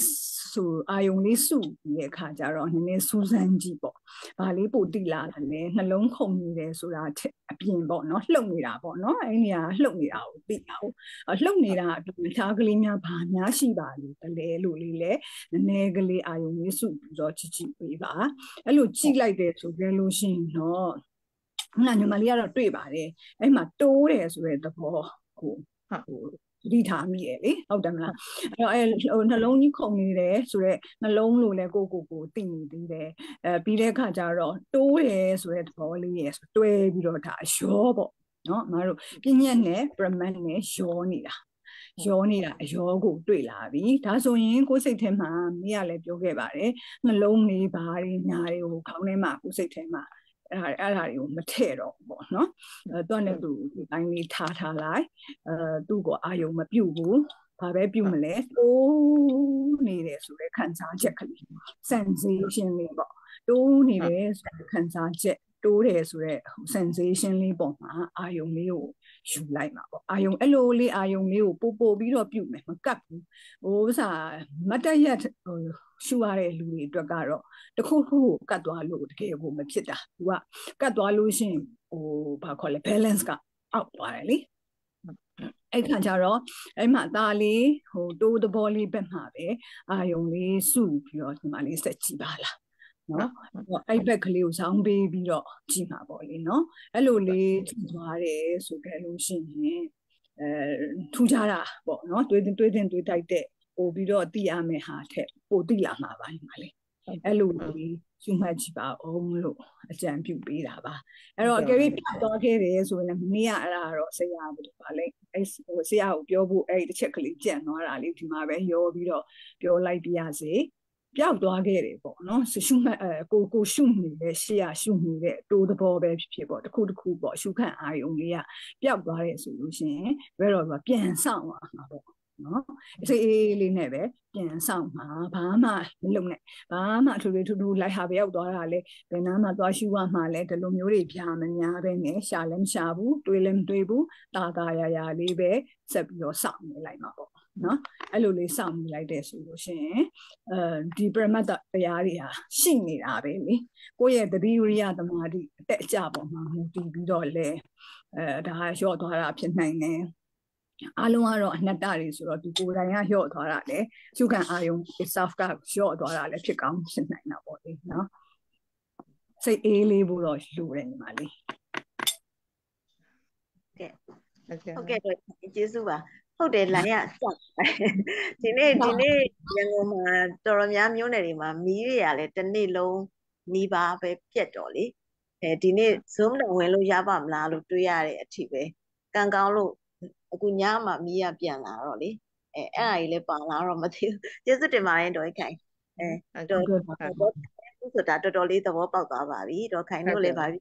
အကောင်းတဲ့လူတွေပါကျမတို့လေ့လာမိပါတယ်ဒါမှမဟုတ်ဒေါ်ခိုင်ရဲ့ ဒါဆွေးနွေးချက်ကလေးတွေနဲ့ပေါ့နော်ဒေါ်ခိုင်နေနဲ့ရှေ့ဆက်ပြီးဒီတဲ့ပိုးပြီးအများကြီးအဆင်ပြေပါစေလို့ဆုတောင်းပါတယ်။တောင်းနေလေဝင်ရောက်ဆွေးနွေးပေးဖို့ဖိတ်ခေါ်ပါတယ်ဒေါ်ခိုင်။ကြာခဏလေးဝင်ရောက်ဆွေးနွေးနော်ဟုတ်ကဲ့ပါရှင်။ဟုတ်ပါဆရာဖိလစ်ရှေ့ဆက်ပြီးဆွေးနွေးဖို့ရှိပါလားရှင်။ဆွေးနွေးပေးပါ။ဆရာမဒေါက်ခင်တန့်စင်နဲ့ဓမ္မမိတ်ဆွေအလုံးမင်္ဂလာပါခင်ဗျ။ဟိုခုဟိုမခင်ခင်မြေဆွေးနွေးသွားတဲ့နှလုံးခုန်ပေါ့နော်။မြန်သွားတဲ့အကြောင်း ဆွေးနွေးတဲ့ခါကျတော့ကျွန်တော်ကျွန်တော်ရဲ့ဟိုတခြားဆရာတော်တွေဟိုပါပေါ့နော်အလုပ်ပေးတရားနဲ့ဟိုဟိုနည်းနည်းကျင့်ခဲ့တာရဲ့နောက်ဆရာကြီးဒေါက်တာတင့်လွင်ရဲ့လုပ်ပေးတရားနဲ့ဒီနေ့ပဲအဲနည်းနည်းအိပ်ပဲပိုင်းလဲကျွန်တော်နည်းစဉ်းစားမိတဲ့ခါကျဟိုတရားအထုတ်နေနေပေါ့နော်ကျွန်တော်အတွေ့အကြုံရနဲ့ဟိုတိတလောက်ပေါ့နော်ဒါကျွန်တော်ရဲ့ကိုတွေးလို့လဲပါပါတယ်အဲ့ဒါ ဒီနှလုံးခုန်လုံးပြောင်းလဲတယ်ဆိုတာပမောက်ဆိုဒီနေ့ပဲဆရာကြီးရဲ့လုပ်ပေးတရားမှာကျွန်တော်တို့စမထိုင်ခင်ကသူကစိတ်ကိုအေးထားနောက်ပြီးတော့ကျွန်တော်အသက်ရှူတာလေးကိုအသက်ဒီကျွန်တော်ရှူတာပမဟိုအသက်ရှူနေမှအရင်ဆုံးကျွန်တော်ကကျွန်တော်ထိုင်တဲ့ခါကျရင်အသက်ရှူနေမှကျွန်တော်ကျွန်တော်လှမ်းပြီးတော့ကျွန်တော်ကျွန်တော်ဟိုလှုပ်ရှူတာမဟုတ်ဘူးသူကသူရှူနေတာဆိုကျွန်တော်အဲ့လိုလေးအရင်စစချင်းအဲ့ရနေစတာဆက်ပြီးတဲ့ခါကျတော့မှနောက်ပြီးတော့ဒါ ဝင်လေပါလားထွက်လေပါလားဆိုတာကိုကျွန်တော်နောက်တစ်ဆင့်ကအဲ့လိုသွားတယ်ဒါ prepare လုပ်တာเนาะဟိုတရားအထုတာမဟုတ်သေးဘူးဒီစစတဲ့နောက်အဲ့ရနေတစ်ဆင့်ကြတော့မှဟိုကိုအဲ့ချိန်မှာတစ်ချက်ကျွန်တော်ရဲ့နှလုံးခုန်နှုံးနေပါလေကျွန်တော်နည်းနည်းတစ်ချက်လေး check လုပ်လိုက်တယ်စိတ်အေးတဲ့အခါကျရင်မှန်နေသူ့အတူဟိုပါလေနှလုံးခုန်နှုံးနေအေးအေးစစ်စစ်ပဲเนาะ အဲ့လိုအနေတဆင်းနောက်ပြီးတော့နာသီပြထိတ်တွေနောက်တဆင်းတဖြည်းဖြည်းနည်းနည်းကရလာတဲ့ခါကျရင်နာသီပြတွေမှာထီတဘောထီတာတိတာအဲ့ဒါလေးကိုတဆင်းသွားတယ်အဲ့ဒါနေသွားပြီးတော့ကျတော့နောက်ဆုံးရုပ်တဘောတွေပူတဘောအေးတဘောတွေအဲ့လိုဟာလေးတွေတဆင်းသွားတယ်အဲ့လိုနေသွားပြီးတဲ့ခါကျတော့မှဟိုကျွန်တော်တက်ကဒီပြောင်းလဲမှုတပါတော့တော့အဲ့နာတိပြထိတ်မှာသိပြီးတော့မရှိဘူးတိုင်းနဲ့ at least winner နေပြီးတော့ ပြီးသွားတယ်နောက်ပြီးတော့ထွက်သွားတယ်အဲ့လောက်ထိပဲဟိုဟိုဒီပူတာပြောင်းလဲအေးတာပူတာအဲ့လိုပြောင်းလဲမှုတွေကကျွန်တော်တက်ကအဲ့ဖြီကိုထင်ထင်ရှားရှားမဖြစ်ဘူးเนาะတစ်ခါတစ်ခါတော့ဖြစ်တတ်ပါတယ်ဆိုတော့အဲ့ချိန်မှာကျွန်တော်ရဲ့နှလုံးခုန်လုံးကတကယ်တကယ် prepare လုပ်ရင်အာအေးအေးတော့ပုံမှန်ပဲ rhythm ကတိတ်ကိုမဖြစ်ဘူး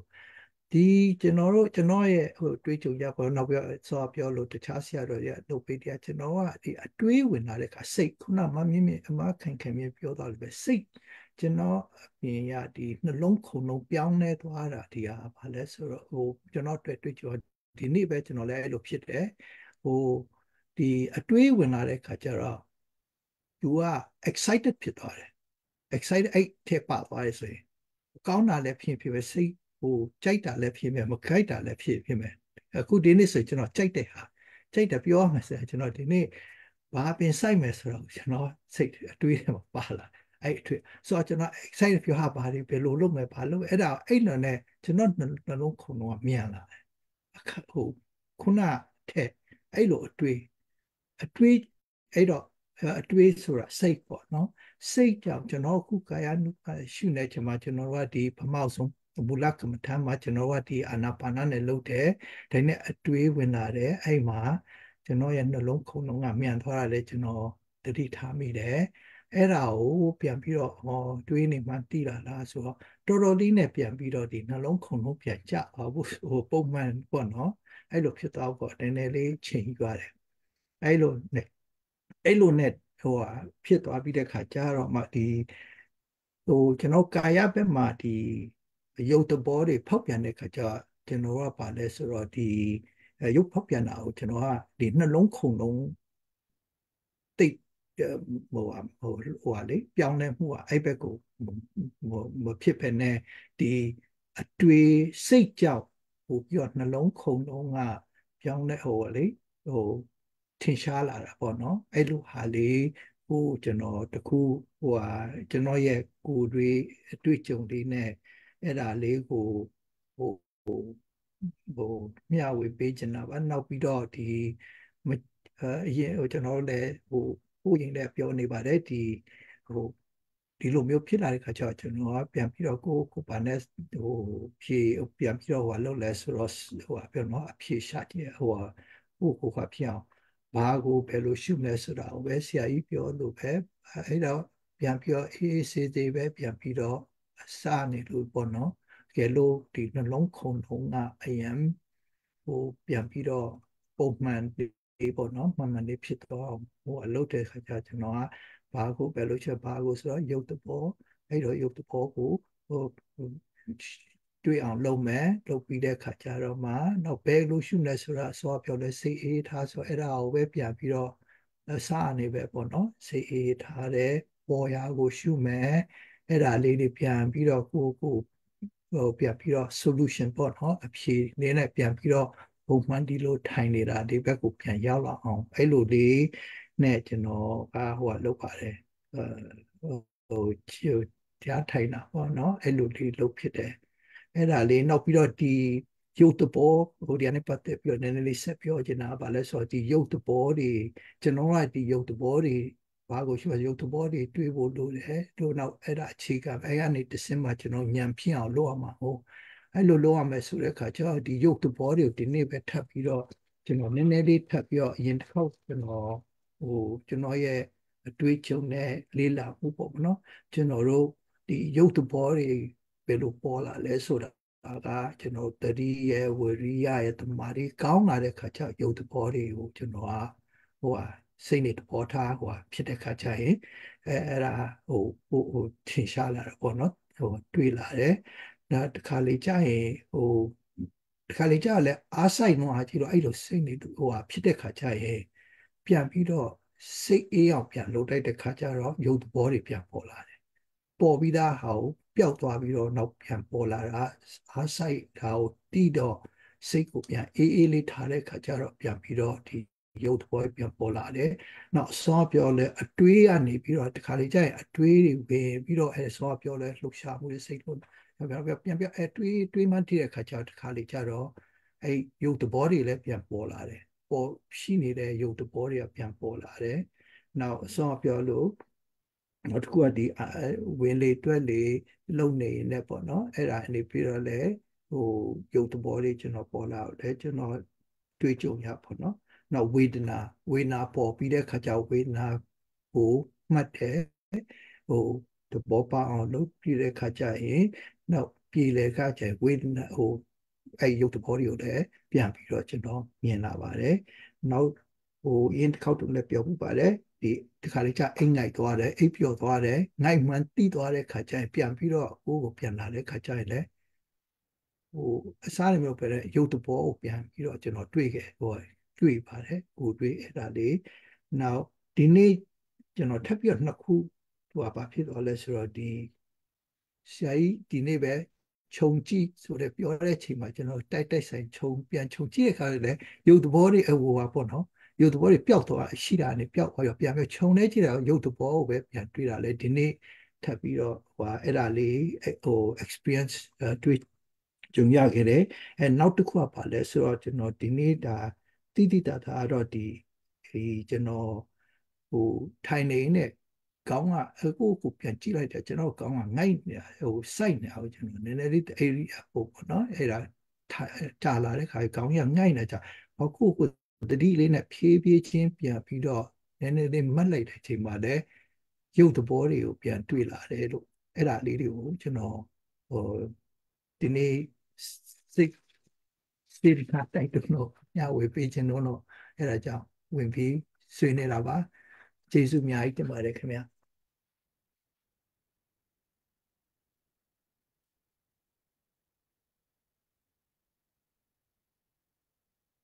ယောဂီများကိုအခုလိုပြည့်ပြည့်ပြည့်ပြည့်စုံစုံကြားပါလားရှင်ပြည့်ပြည့်စုံစုံညောင်းကြားပါတယ်ဟုတ်ကဲ့ပါရှင်ကျမတို့တကယ်ပဲကျေးဇူးလည်းတင်ပါတယ်တာရုလည်းခေါ်ပါတယ်ဦးဖိလစ်ပြောသွားတာတွေကို ဟိုပြန်ပြီးတော့ကျမဟိုခြုံပြီးတော့ပြောရရင်တော့လေအဲဦးဖိလစ်ကဒါတတိတရားတော်တော်လေးကိုကောင်းကောင်းမွန်မွန်လေးနဲ့လေအဲရှုမှတ်စဉ်တစ်လျှောက်လုံးမှာပေါ့နော်ကိုယ့်ကိုပြန်သုံးသက်တယ်ပေါ့သုံးသက်တဲ့ခါလေးကဒါတော်တော်အားကောင်းတယ်ပေါ့ကျမမြင်တာတော့လေဒီလိုသုံးသက်တယ်ကိုယ့်ရဲ့ body ပေါ်မှာလည်းဟိုကိုယ်ပေါ်မှာလည်းသုံးသက်တယ်လို့ကိုယ့်ရဲ့စိတ်ပေါ်မှာလည်းသုံးသက်တယ်ဒီနှစ်ခုစလုံးကဒါမှမဟုတ်ကိုကတတိလေးနဲ့အမြဲတမ်းရှိနေတဲ့ခါကျတော့ ကိုဘာဖြစ်တယ်ဆိုတာလေးကိုအဲချက်ချင်းပဲကိုကသိသွားနိုင်တယ်သိတာနဲ့အမျှလေကိုကဘယ်လိုပြင်ဆင်ရမယ်ဆိုတာလေးကိုချက်ချင်းသဘောပေါက်တယ်ကိုရှေ့ကနေပြီးတော့လေးလာထားတဲ့သိရှိထားတယ်ပေါ့နော်ဒီအချက်လက်တွေနဲ့ကိုက်ညီအောင်ကိုကပြင်ဆင်နိုင်တယ်အဲဒါလေးကကျမတို့မတန်မှပဲမှတ်သားရလောက်တဲ့ဒါလေးပါတော့လဲဆိုတော့ तू ကအတွေးဝင်လဲဝင်မှန်သိတယ်ဝင်လိုက်တာနဲ့သူ့စိတ်မှာဘလို့ excited ဖြစ်သွားလဲ heart rate လေးကဘလို့ပြောင်းသွားလဲဒါလေးကအစ သိလာတဲ့ခါကျတော့ဒါလေးကိုချက်ချင်းပဲပေါ့နော်သတိလေးနဲ့ပြန်ပြီးတော့ပြပြင်လိုက်တဲ့အခါကျရင်ဒါလေးရရုပ်သဘောလေးတွေပြန်တွေ့ရတယ်နောက်တစ်ချက်ကတော့ခုနလွိခိုင်လေးပြောသွားတဲ့စိတ်မအေးတဲ့ဟာကိုပြန်ပြီးဒီလိုလေးသတိလေးကတ်လိုက်တဲ့အခါကျတော့ပြန်ပြီးစိတ်ကလေးကပြန်အေးသွားတဲ့အခါမှာခုနလိုပေါ့နော်ဒါကျမတို့ရဲ့အားလုံးသိရှိထားပြီးတဲ့အရာပဲဒီရုပ်သဘောလေးတွေကပြန်ပြီးတော့အေးစစ်စစ်ပဲပြန်တွေ့လာတယ်ဒီဒီနေရာမှာပဲလေဒါလေးတွေကလည်းကျမတို့ ဟိုတိပေမဲ့မလုတ်ဖြစ်တဲ့ဟာလေးတွေပေါ့တခါတလေကြာရင်လေဒါလေးကိုဆရာဖိလစ်ကတည်တည်ချာလေးပြောပြသွားတယ်ဆိုကျမတို့ဒါလေးတွေကအဲကျမတို့လည်းဖြစ်တတ်ပါတယ်ဖြစ်ကြတယ်အဲ့ဒါလေးတို့ဒီလိုလေးဖြစ်ရင်တော့ဒီလိုလုပ်ရတယ်ဆိုတဲ့ point လေးတွေကိုအစအဆုံးတေချာပြောသားတယ်ကျေးဇူးတင်ပါတယ်အဲခြုံကြည့်တာလည်းဟုတ်ပါတယ်နော်ဖိလစ်အခုလည်းဒီယောဂီတွေမှာအများကြီးပဲခြုံကြည့်ကြရတဲ့လူတွေအခုဆွေးနွေးတာတွေတွေ့ရတယ်ကျမတို့ကိုယ်တိုင်လည်းဒီလိုပါပဲတနေရာမှာအဲတစ်နေပြီပေါ့အခက်အခဲဖြစ်နေပြီဆိုရင်ဒါကျမတို့က ပထမတော့ဒီနေရာလေးမှာပဲခဏလေးရက်ပြီးတော့ကိုယ့်ကိုပြန်ပြီး relax လေးလုပ်ပြီးခဏလေးစောင့်ကြည့်တယ်အဲတိတ်မှန်မှုတင်အဲအဲ့လိုပဲခြုံကြည့်လိုက်ကြည့်တယ်အဲအဲ့ဒီကြရင်သူတက်ပြောသလိုပဲတနေရာမှာတော့ကျမတို့ရဲ့ပထမရှိနေတဲ့ဒီတတိသမารီလေးတွေရဲ့အရှိန်ကြောင့်ပဲဖြစ်စေပေါ့နော်စိတ်လေးနည်းနည်းအေးသွားတဲ့ကြောင့်ဖြစ်စေဒီလိုသဘောလေးတွေကတနေရာမှုတနေရာတော့ပြန်တွေ့လာပြန်လဲတွေ့လာနော်ဒါလေးကိုလည်းကျမတခြားယောဂီတွေကိုဟိုဒါလေးကိုလည်းသိစေချင်ပါတယ် နော်ကျေးဇူးတင်ပါတယ်ဆရာဖိလစ်နော်အခုလိုစိတ်ရှိလက်ရှိလေးအားလုံးရှင်းလင်းပြသွားတာကျမတို့အားလုံးတွေ့ရပါတယ်ကျေးဇူးတင်နော်ဟုတ်ကဲ့ပါအဲ့ဒါဆိုကျမတို့ဒေါ်လာကြီးဒေါ်လာကြီးကိုကြိုဆိုပါတယ်ဒေါ်လာကြီးဟုတ်ကဲ့ကျမတို့လည်းမျှော်နေတာကိုနေမယ်လို့ဟုတ်ကဲ့အာကြာပြီဟုတ်ကဲ့ပါပြောပါရှင်အဲဒေါက်တာဒေါက်ကန်သက်စနဓမ္မမုံမအပုံလုံးမင်္ဂလာပါလို့နှုတ်ခွန်းဆက်ပါတယ် ကျမဆွေးနွေးတဲ့ခါတည်းဝင်မယ်ဆိုတော့ရှိရင်လေအမေကဘေးနားမှာပြောတာရဲ့တရားထိုင်ပြီးအမေရဲ့ဝေယဝိစာလောက်တာဆိုတော့တခါတလေကြားရင်အဲ့လိုပုံစံမျိုးနဲ့တွေ့ရတော့လေမဆွေးနေတာဖြစ်တာပါအခုဟိုဟာညီမလေးတယောက်ပြောတော့တာကလေနှလုံးခုန်လုံးပတ်သက်ပြီးတော့အဲ့ဒါလေးကိုနင်းနေဆွေးနေရှင်တော့ပါကျင်တာတော့နင်းနေတော့ပါပါတယ်နှလုံးခုန်လုံးကကျမလေးဟိုပါလေတော်တော်များများတော့ကြုံရပါတယ် အဲ့လိုနှလုံးခုန်တဲ့ဟာနဲ့ရှုတဲ့အခါမှာဘယ်လိုရှုရလဲဆိုတော့တစ်ခါတလေကြာရင်လေဝိရိယစိုက်တာများတော့ရင်ပုံစံမျိုးစိတ်ကလေတိတ်မတေးမငြိမ်ဘူးဖြစ်တယ်ရောက်ရက်ခက်တော့တာပေါ့နော်အဲ့လိုရောက်ရက်ခက်တော့တဲ့အခါမှာတစ်ခါတလေကဘလို့လဲဆိုနှလုံးရက်ခုန်တယ်ပမာကြီးအကောင်ဆိုလို့ရှိရင်လေဟိုဟာလက်ဖက်ရဆိုင်တော့ပါတစ်ခါတလေရရင်လေ sound box တွေအကြေကြီးလောက်လိုက်တဲ့အခါဒိန်ဒိန်ဒိန်တဲ့အဲ့လိုပုံစံမျိုးပေါ့နော်ဒါဆိုဝိရိယတွေများနေပြီချော့ရမယ်ဆိုတာကိုယ့်ရဲ့စိတ်အနေထားကို ပြန်ပြီးတော့တတိနဲ့ခြုံပြီးတော့ကြည့်လိုက်ရတာပေါ့အဲ့လိုခြုံပြီးကြည့်လိုက်တဲ့အခါကျမကလည်းကျမရဲ့အတွေ့အကြုံပေါ့နော်ဒါမဲ့လိုအပ်ရင်လည်းကြံပြီးတော့ပြောပြပါလို့ပြောပြတာပါအဲ့လိုဖြစ်လာတဲ့အခါမှာဆိုလို့ရှိရင်ကျမကလည်းဘက်ကပြန်လုပ်တယ် ဘက်ကဘက်ကပြန်လုပ်ပြီးတော့လေစိတ်ကိုလေတဖြည်းဖြည်းနဲ့ညင်ညင်ထားတယ်ဘလို့ပုံစံမျိုးဆိုရေတစ်ခုကအေယာဝတီမြစ်လို့ပေါ့နောက်နေတဲ့ဟာတစ်ခုပေါ့အဲ့လိုနောက်နေတဲ့ဟာကိုကြောက်ရှင်နဲ့ထည့်လိုက်တဲ့ကတဖြည်းဖြည်း deposit အနေထိုင်ပြီးတော့ကြည်ကြည်ကြည်လာတဲ့ကအောက်ခေပုံစံမျိုးဖြစ်သွားအောင်ပေါ့နော်အဲ့လိုမျိုးကိုညှင်ရတယ်တော်တော်လေးကြာတယ်သဘောရိယာထားတယ် ဘယ်လိုလဲဂျိုးဒန်တစ်ခုမှာဆက်ကသမားတွေကက်ဆက်သမားတွေအဲ့လိုမျိုးဆက်ကသမားတွေလောက်တယ်ခြောက်တဲ့အခါမှာအဲ့ဒါဂျိုးဒန်ရဲ့ပေါ်ကအောက်ကမကြဝလုံးလေးထိုက်ပြီးတော့ balance ငြိမ်သွားတာပေါ့နော်အဲ့လိုပုံစံမျိုးလေအဲ့ဒီအချိန်မှာကြာတယ်လေတော်တော်လေးဖြစ်တဲ့ဟာကိုလေစိတ်ကိုလေးရှော့ရတယ်ဝေးရလည်းများပြီဆိုတတိလေးနဲ့ထိန်ထိန်ထိန်ပြီးတော့လေသူ့ဘက်ကကိုပြန်လောက်လိုက်တဲ့အခါမှာဘလို့ဖြစ်သွားလဲဆိုတော့လေနှလုံးခုန်တာတဖြည်းဖြည်းနဲ့ဖြည်းဖြည်းဖြည်းပုံစံနဲ့နှိမ့်လာပြီးတော့ ကိုယ့်ရဲ့အားရှုတဲ့အခါဆရာကြီးသင်ပြထားတယ်လို့ပေါ့နော်ရုပ်ကိုရဟိုပါလေခန္ဓာကိုယ်ရဲ့ခန္ဓာကိုရှုလိုက်တဲ့အခါမှာရုပ်ကိုတွေ့ရမယ်ဆိုတော့ကိုယ့်ရဲ့ target ကိုထားတယ်အဲ့လို target ကိုထားပြီးတော့ prepare ကောင်းကောင်းလုပ်ရအဲ့လိုပဲတစ်ခါတလေအဲ့လိုမျိုးတွေပေါ့အနှောက်ရှက်တွေဝင်တော့ပြီးတော့အဲ့လိုနှလုံးခုန်မြဝင်လာတဲ့အခါမှာကျမကဘက်ကကိုပြန်လုပ်တယ်စိတ်ကိုငြိမ်ငြိမ်လေးထားတယ်ဘလို့အနေထားလေးခန္ဓာကိုတစ်ခါတလေကြအာယုံစိုက်ပြီးတော့ရှေ့ကိုကင်သွားလာပါလားဆိုတော့ကျမအနေထားကိုတော့နည်းနည်းပေါ့ခန္ဓာကိုရက် ခါကိုမက်တာတို့ဘာတို့အဲ့လိုလုပ်ပြီးတော့ဖြည်းဖြည်းနဲ့ကိုတသသသလေးလှုပ်လိုက်ပြီးတော့ stable ဖြစ်အောင်လုပ်လိုက်တယ်အဲ့လို stable ဖြစ်အောင်လုပ်ပြီးတော့ညင်ညင်ဖြစ်လာတဲ့အခါမှာအဲ့လိုနှလုံးပုံစံကဖြည်းဖြည်းဖြည်းတော့ချိနေသေးတယ်ကြားနေသေးတယ်အဲ့ဒါကြီးကနေပြီးဘက်ကပြန်လုပ်လိုက်တယ်အဲ့တော့ဘက်ကပြန်လုပ်လိုက်ပြီးအဲ့ဒါရဲ့ဘက်ကပြန်လုပ်တဲ့ဟာကိုလေအတန်ဟိုကြော့ညီမလေးပြောတယ်လို့ပေါ့နော်အတန်ကိုဖြည်းဖြည်းဖြည်းကြားနေတဲ့အတန်ကိုအတန်ရှော့ရှော့ရှော့ကြားတယ်လို့အဲ့လိုဘက်ကလည်းညှင်းညှင်းညှင်းလိုက်တဲ့အခါမှာလေ တေဟိုလိုဝိရိယကိုညှိပြီးတော့ဘုံငါးပါးကိုညှိတယ်လည်းညှိလိုက်တဲ့အခါမှာလေသူ့ဟာလေဖြည်းဖြည်းဖြည်းတိုးတိုးတိုးပုံမျိုးဖြစ်လာပြီးတော့ရုပ်ရဖောက်ပြန်ပြောင်းလို့သဘောလေပူတာရဲ့တိုးတာရဲ့တင်းတာရောပြီးတော့ပေါ်လာတယ်ပူတာကကျမအများအပြားပူတာပေါ်တယ်တိုးတာတင်းတာနေပြီးတစ်ဖြည်းဖြည်းတစ်ပြိုင်တည်းကပေါ်လာတယ်အဲ့လိုတစ်ပြိုင်တည်းပေါ်လာတယ်ဘယ်လိုပုံစံမျိုးလဲဆိုတော့အဲ့တော့ပေါ်လာတဲ့အပေါ်မှာငင်းငင်းလေးထားပြီးတော့တယ်အာယုံကလည်းတိတ်ဆိုင်ကြမှာဘူရီကလည်းမျှတာတမာရီနဲ့ငြိမ်သွားတဲ့အခါမှာနေပြီးတော့ အဲ့သူ့ရဲ့ဖောက်ပြန်ပြောင်းလို့တပတ်ကိုတွေ့ပြီးတော့အသာလေး speak ကောင်းဖြစ်သွားတယ်လမ်းကောင်းကောင်းမှနေပြီးတော့ဟိုဟာလေစပိန်စီးပဲဆိုလို့ရှိရင်ဒီနေရာခလုတ်ကိုဘယ်လိုသွားမလဲပုံနေဆိုအဲ speak ကောင်းကောင်းသွားမယ်ဆိုလို့ညှင်းပြီးတော့အဲ့လိုသွားလိုက်ပြီးအဲ့လိုပေါ်မှာပေါ်လာတဲ့အခါမှာအော်ငါကနေပြီးတော့ဒီရုပ်သဘောဖောက်ပြန်မှုကိုတွေ့ပြီဆိုလို့ရှိရင်လေအဲ့ဒါမှမကဲညင်ကဲသဘောမျိုးဖြစ်အောင်ပေါ့နော်ဥပခါလေးကိုပုံစံမျိုးဖြစ်အောင်ညှင်းပြီးတော့သွားမယ်ပုံစံမျိုးဆိုလို့ရှိရင်တခါတလေဝေဒနာကနေပြီးပြင်းပြီးတော့ပေါ်လာတယ် အဲ့လိုပြင်းပြီးတော့ပေါ်လာဒီရဲ့ခန္ဓာကိုရုပ်ရဖောက်ပြန်ပုံပုံစံမျိုးဆိုလို့ရှိရင်သူ့ရဲ့ root cause analysis ကိုကြည့်လိုက်လို့ရှိရင်ဒီရဲ့ဓာတ်လေပါရဲ့ဖောက်ပြန်ပြောင်းလဲမှုသဘောတရားကိုဖြစ်နေတာကိုနေပြီးဖြစ်တဲ့အတွက်နဲ့ပြင်းတဲ့ဝေဒနာပေါ်လာပါလားဒါသဘာဝတရားပဲဆိုတော့ဆရာကြီးပြောသလိုပေါ့နော်နှလုံးသွင်းကိုပဲနင်းနေလေးပဲယူလိုက်တယ်အဲ့လိုယူလိုက်တဲ့အခါမှာနေပြီးတော့ကိုယ့်ရဲ့ရုပ်ရဲ့ဖောက်ပြန်ပြောင်းလဲမှုဝေဒနာပြင်းတဲ့ဟာကလေဘယ်လိုပါနဲ့တူသွားလဲဆိုလို့ရှိရင်ပုံနေတဲ့အိုတစ်ခုကိုနေပြီးတော့လ က်နှင်းကင်ပြီးတော့ကင်ပြီးတော့ယူလိုက်တဲ့ကအပုတ်သက်တာသလိုပုံစံမျိုးဖြစ်ပြီးတော့လေမြားနှချောင်းကိုအစိုးမခံပြီးတော့ကာယိကဒုက္ခကိုနေပြီးတော့စိတ်ခံစားရတယ်ဒါပေမဲ့စေတသိက်ကဒုက္ခနေပြီးတော့မဖြစ်အောင်ပုံစံမျိုးကောက်ွယ်ပုံစံမျိုးပေးတယ်လို့ဖြစ်တော့ပြီးရှုရတဲ့ဟာပုံစံမျိုးရှုလို့ရတယ်အဲ့လိုဝေဒနာပြင်းပြီးရှုလာတဲ့အခါမှာစကားတိုင်းပြီးတော့ဖြစ်တော့တော့လေခန္ဓာကိုယ်ရဲ့ဖောက်ပြန်ပြောင်းနေမှုသဘောတရားဒီရဲ့ခန္ဓာကိုဒီလိုမျိုးဖြစ်နေပါလားဆိုတော့တခါတလေကြာရင်လေ နှလုံးသွင်းကိုတိတ်မတတ်မဲ့အနိစ္စဒုက္ခအနတ္တကိုရှင်းရှင်းလင်းလင်းနဲ့ပုံစံမျိုးကိုကျွန်မတွေ့ရတယ်ရှိတခါတလေကျဝေဒနာကနှုံးပြီးတော့ဖြစ်လာတဲ့အခါမှာစိတ်ရဲ့ဖောက်ပြန်မှုသဘောတရားကိုပုံစံမျိုးတွေ့ရတာကိုရှိတယ်။ခါတည်းအဲ့လိုရှုရင်ရှုနေကြည့်လိုက်တဲ့အခါမှာဘယ်လိုပုံစံမျိုးဖြစ်ရလဲဆိုတော့စိတ်ရဲ့ကိုလေးတွေ့ရတယ်ဖောက်ပြန်ပေါင်းတာနန်ခံထားရဲ့ဖောက်ပြန်ပြောင်းမှုကိုလေးတွေ့ရတယ်တခါတလေကျအတွေးကလည်းနေနေထွက်တော့ပြန်အော်ဒါလေးဆိုဘယ်လိုမျိုးညှိရမယ်ပုံစံမျိုးဆိုတော့ တခါတလေကြာလို့ရှိရင်ရှုရင်ရှုရင်နဲ့ပေါ်ရကိုရှုမယ်ပုံစံမျိုးဆိုလို့ရှိရင်တသားလေးနဲ့လည်းလွတ်လွတ်ကလေးရှုတော့တော့တရားတယ်အဲ့ဒါကြောင့်ဆရာကြီးပြောတဲ့ပုံစံမျိုးလားရှုတဲ့အခါမှာပေါ့နော်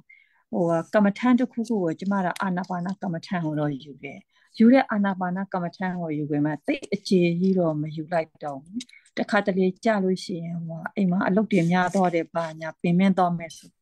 ရှိရင်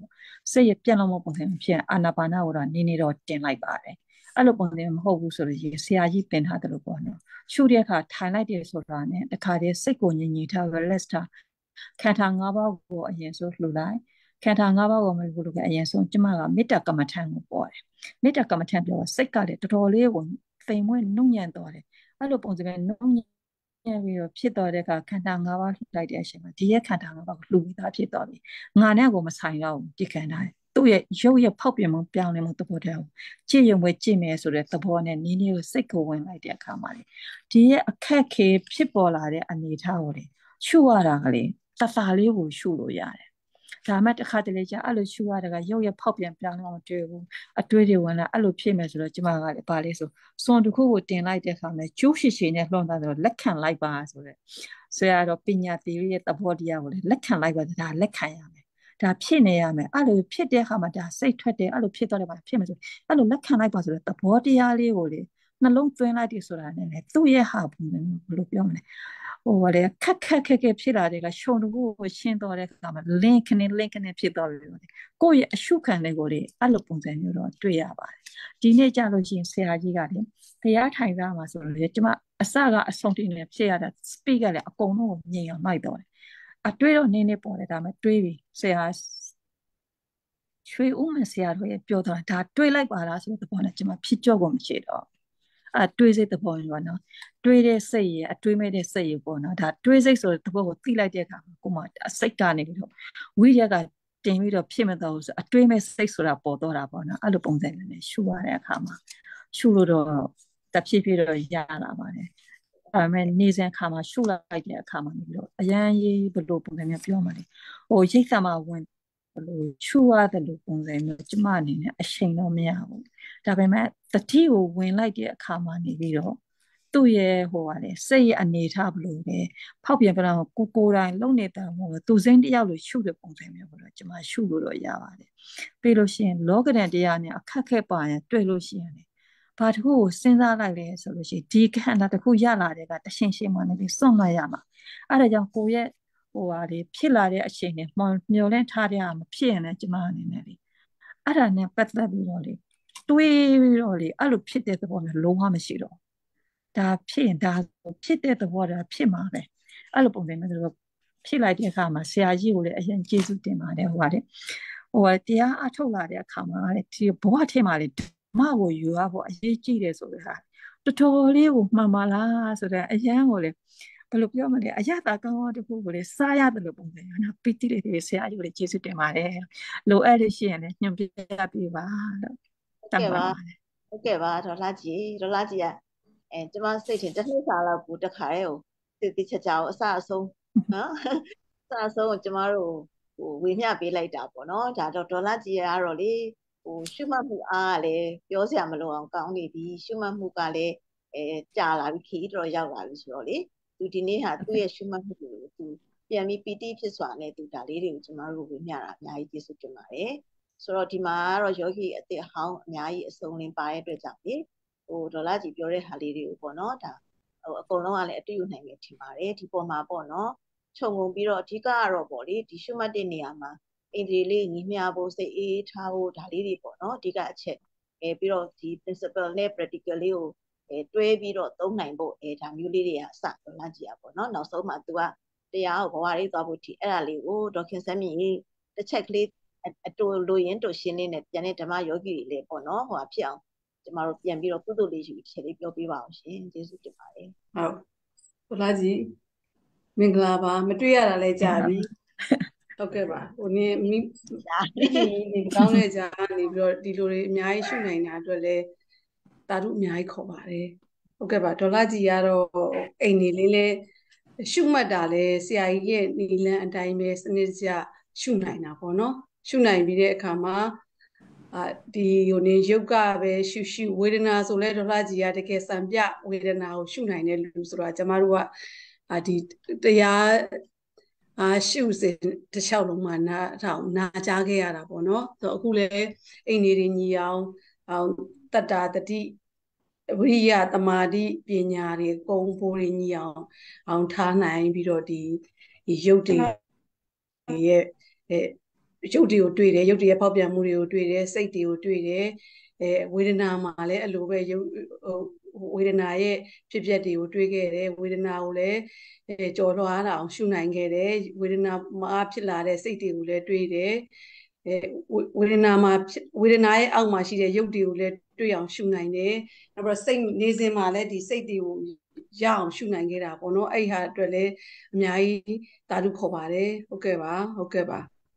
ဟုတ်ကဲ့ပါဟုတ်ကဲ့ပါရှင်ကျေးဇူးတင်ပါတယ်ဟုတ်ကဲ့ပါဥပ္ပခါလေးကိုလည်းသူကကောင်းကောင်း ဟိုဥပ္ပခါလည်းကောင်းကောင်းနိုင်တယ်နောက်ပြီးတော့ကျမတို့ရဲ့ဒီဟိုနေဆရာကြီးရဲ့အဲတင် जा ပို့ချမှုအားလုံးကိုဒေါ်လာကြီးကအကုန်လုံးအပြည့်အဝမှတ်သားပြီးတော့လုံနိုင်တာကိုတွေ့ရပါတယ်ပေါ့နော်တကယ်ကိုပဲ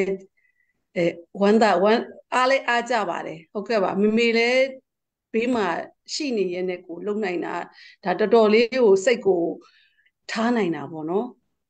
ယောနိသောဗနတိကာယကိုတော်တော်လေးနှလုံးသွင်းနိုင်ပြီးတော့လုံနိုင်တာကိုတွေ့ရပါတယ်ဟုတ်ကဲ့ပါသာဓုသာဓုသာဓုပါရှင်အတက်ပါကျေးဇူးတင်ပါတယ်ဟုတ်ကဲ့ပါပါနော်ဒါလေးကိုနင်းကတော့ကျမလည်းဒီနှလုံးခုန်တာနဲ့ပတ်သက်ပြီးတော့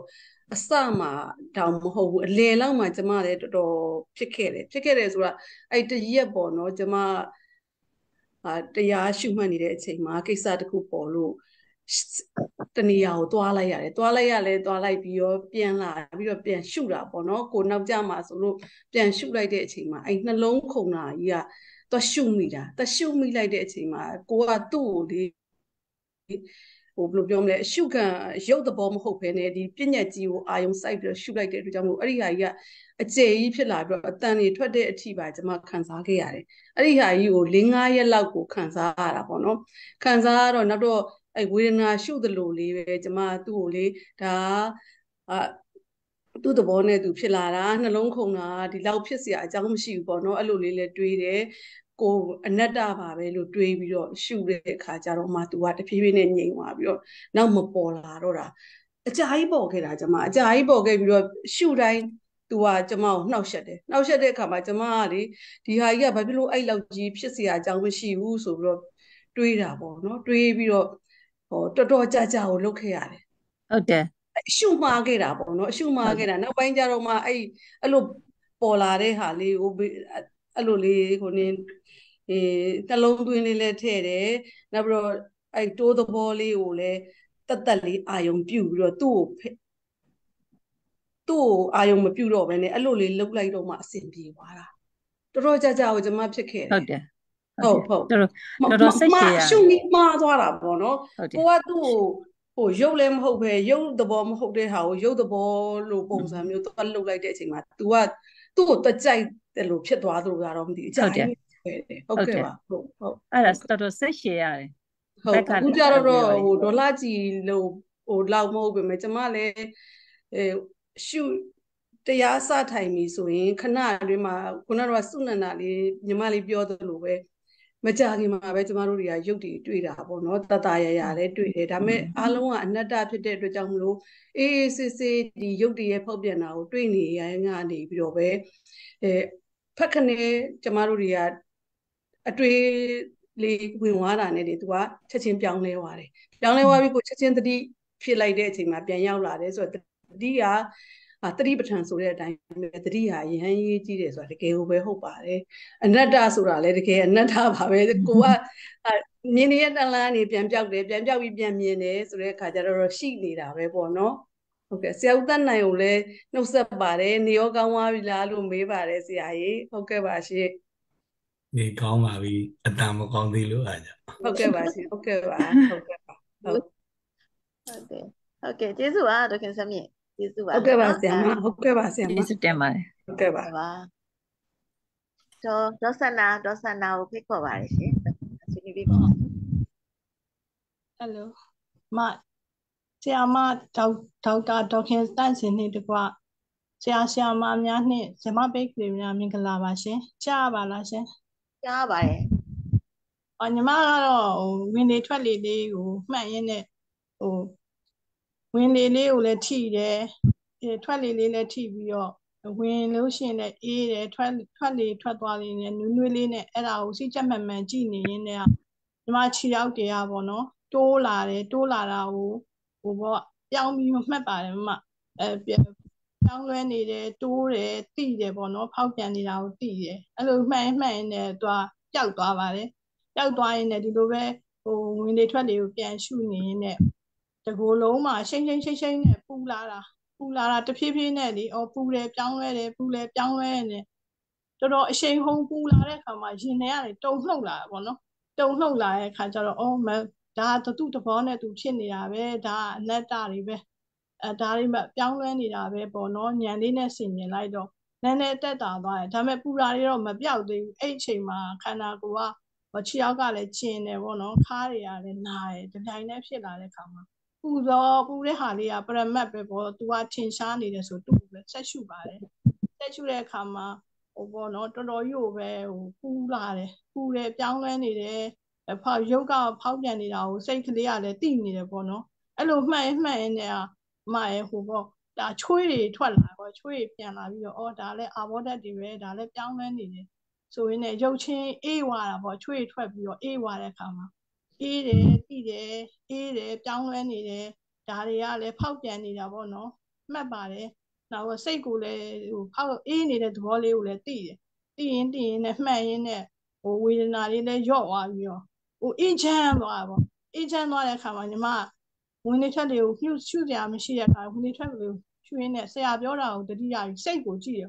အဲငါဒီအေးချမ်းနေတာလေးကိုကြိုက်နေတာလောဘဖြစ်နေလား အဲဘလို့ဖြစ်နေလဲဆိုပြီးတော့လေကြည့်ပါတယ်ကြည့်ဟိုကြိုက်လည်းမကြိုက်ဘူးပေါ့နော်ဒါပေမဲ့ညီမအဲ့ဒါလေးကိုလွတ်လွတ်လေးဆိုတာတိတိတိကများလေးတိပြီးတော့လေဒီလိုပဲမှတ်နေပါတယ်မအဲ့ဒါဥပိ္ပခာလေးကိုပိုင်ပိုင်နိုင်နိုင်ရှုနိုင်အောင်သင်ပေးပါအောင်လို့လွတ်လွတ်တိရဆိုတာလေးကိုလေအဲညီမတိတာလေးကလွတ်လွတ်တိတာလားအဲ့လိုမျိုးမေးချင်လို့ပါရှင်ဟုတ်ကဲ့ဟုတ်ကဲ့ပါဒေါ်ဆန္နာဟုတ်ကဲ့ဒေါ်ဆန္နာရဲ့အခုတရားရှိမှတ်မှုလေးတွေကိုပြောပြတာတော့အများကြီးကျေးဇူးတင်ပါတယ်နော်ဒေါ်ဆ န္နာကလေဟိုဘယ်လိုပြောလဲကျမအဲ့ပြောသွားတဲ့တစ်ခြားမှာသုံးသပ်မိတာဆိုတော့လေ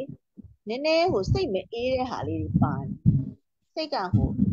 ကျမတို့ပြောနေကြစကားတိုင်းပြောရင်တအား relax မဖြစ်ဘူးပေါ့နော်ဒါလေးကတော့အဲနည်းနည်းလေးတိတိကျကျလေးတွေ့နော်ဟိုထင်ရှားတဲ့နေရာပြောင်းမှုရှုတာတော့ဟုတ်တယ်ဒါပေမဲ့ကျမတို့ကဟိုပရမတ်သဘောစစ်စစ်ကလေးကိုတိတိကျကျတော့မရဘူး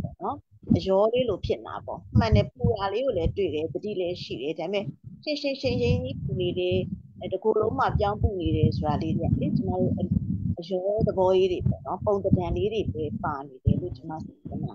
ပါပေါ့နော်ခံစားရတယ်ပေါ့နော်အဲ့တော့ကျမတို့ပြင်းတဲ့သဘောလေးတွေကတော့ဟိုအားဆိုင်ပြီးရှုလိုက်ရင်တော့နည်းနည်းပို့ပြီးတော့ tension လာတယ်ဆိုတာပူရင်လည်းတအားကြီးပူလာတယ်အဲနိုင်လည်းတအားကြီးနာတယ်ပေါ့နော်အဲ့လိုကြောင်းလိုက်ပြီးပူလာတယ်ခုနရှင်းရှင်းကြီးပူလာတယ်ပေါ့ နော်အဲ့ဒါကိုအားဆိုင်ပြီးကိုကကြည့်လိုက်တယ်ခုနကလည်းဟိုတော့ဆန္ဒပြောတယ်နည်းနည်းလေးကိုယ်ကိုယ်စိတ်တွေမှာတုံ့လှုပ်သွားတယ်ဆိုတဲ့သဘောလေးလေပြောသွားတယ်နော်အဲ့အဲ့လိုကျတော့စိတ်မအေးတော့ခုနလိုအတွေးတွေပေါ့ပေါ့နော်ချွေးတွေထွက်လာရင်လည်းဒါအဘောလားပူရာတွေကဒေဇောလားဆက်တဲ့ဖြစ်လေ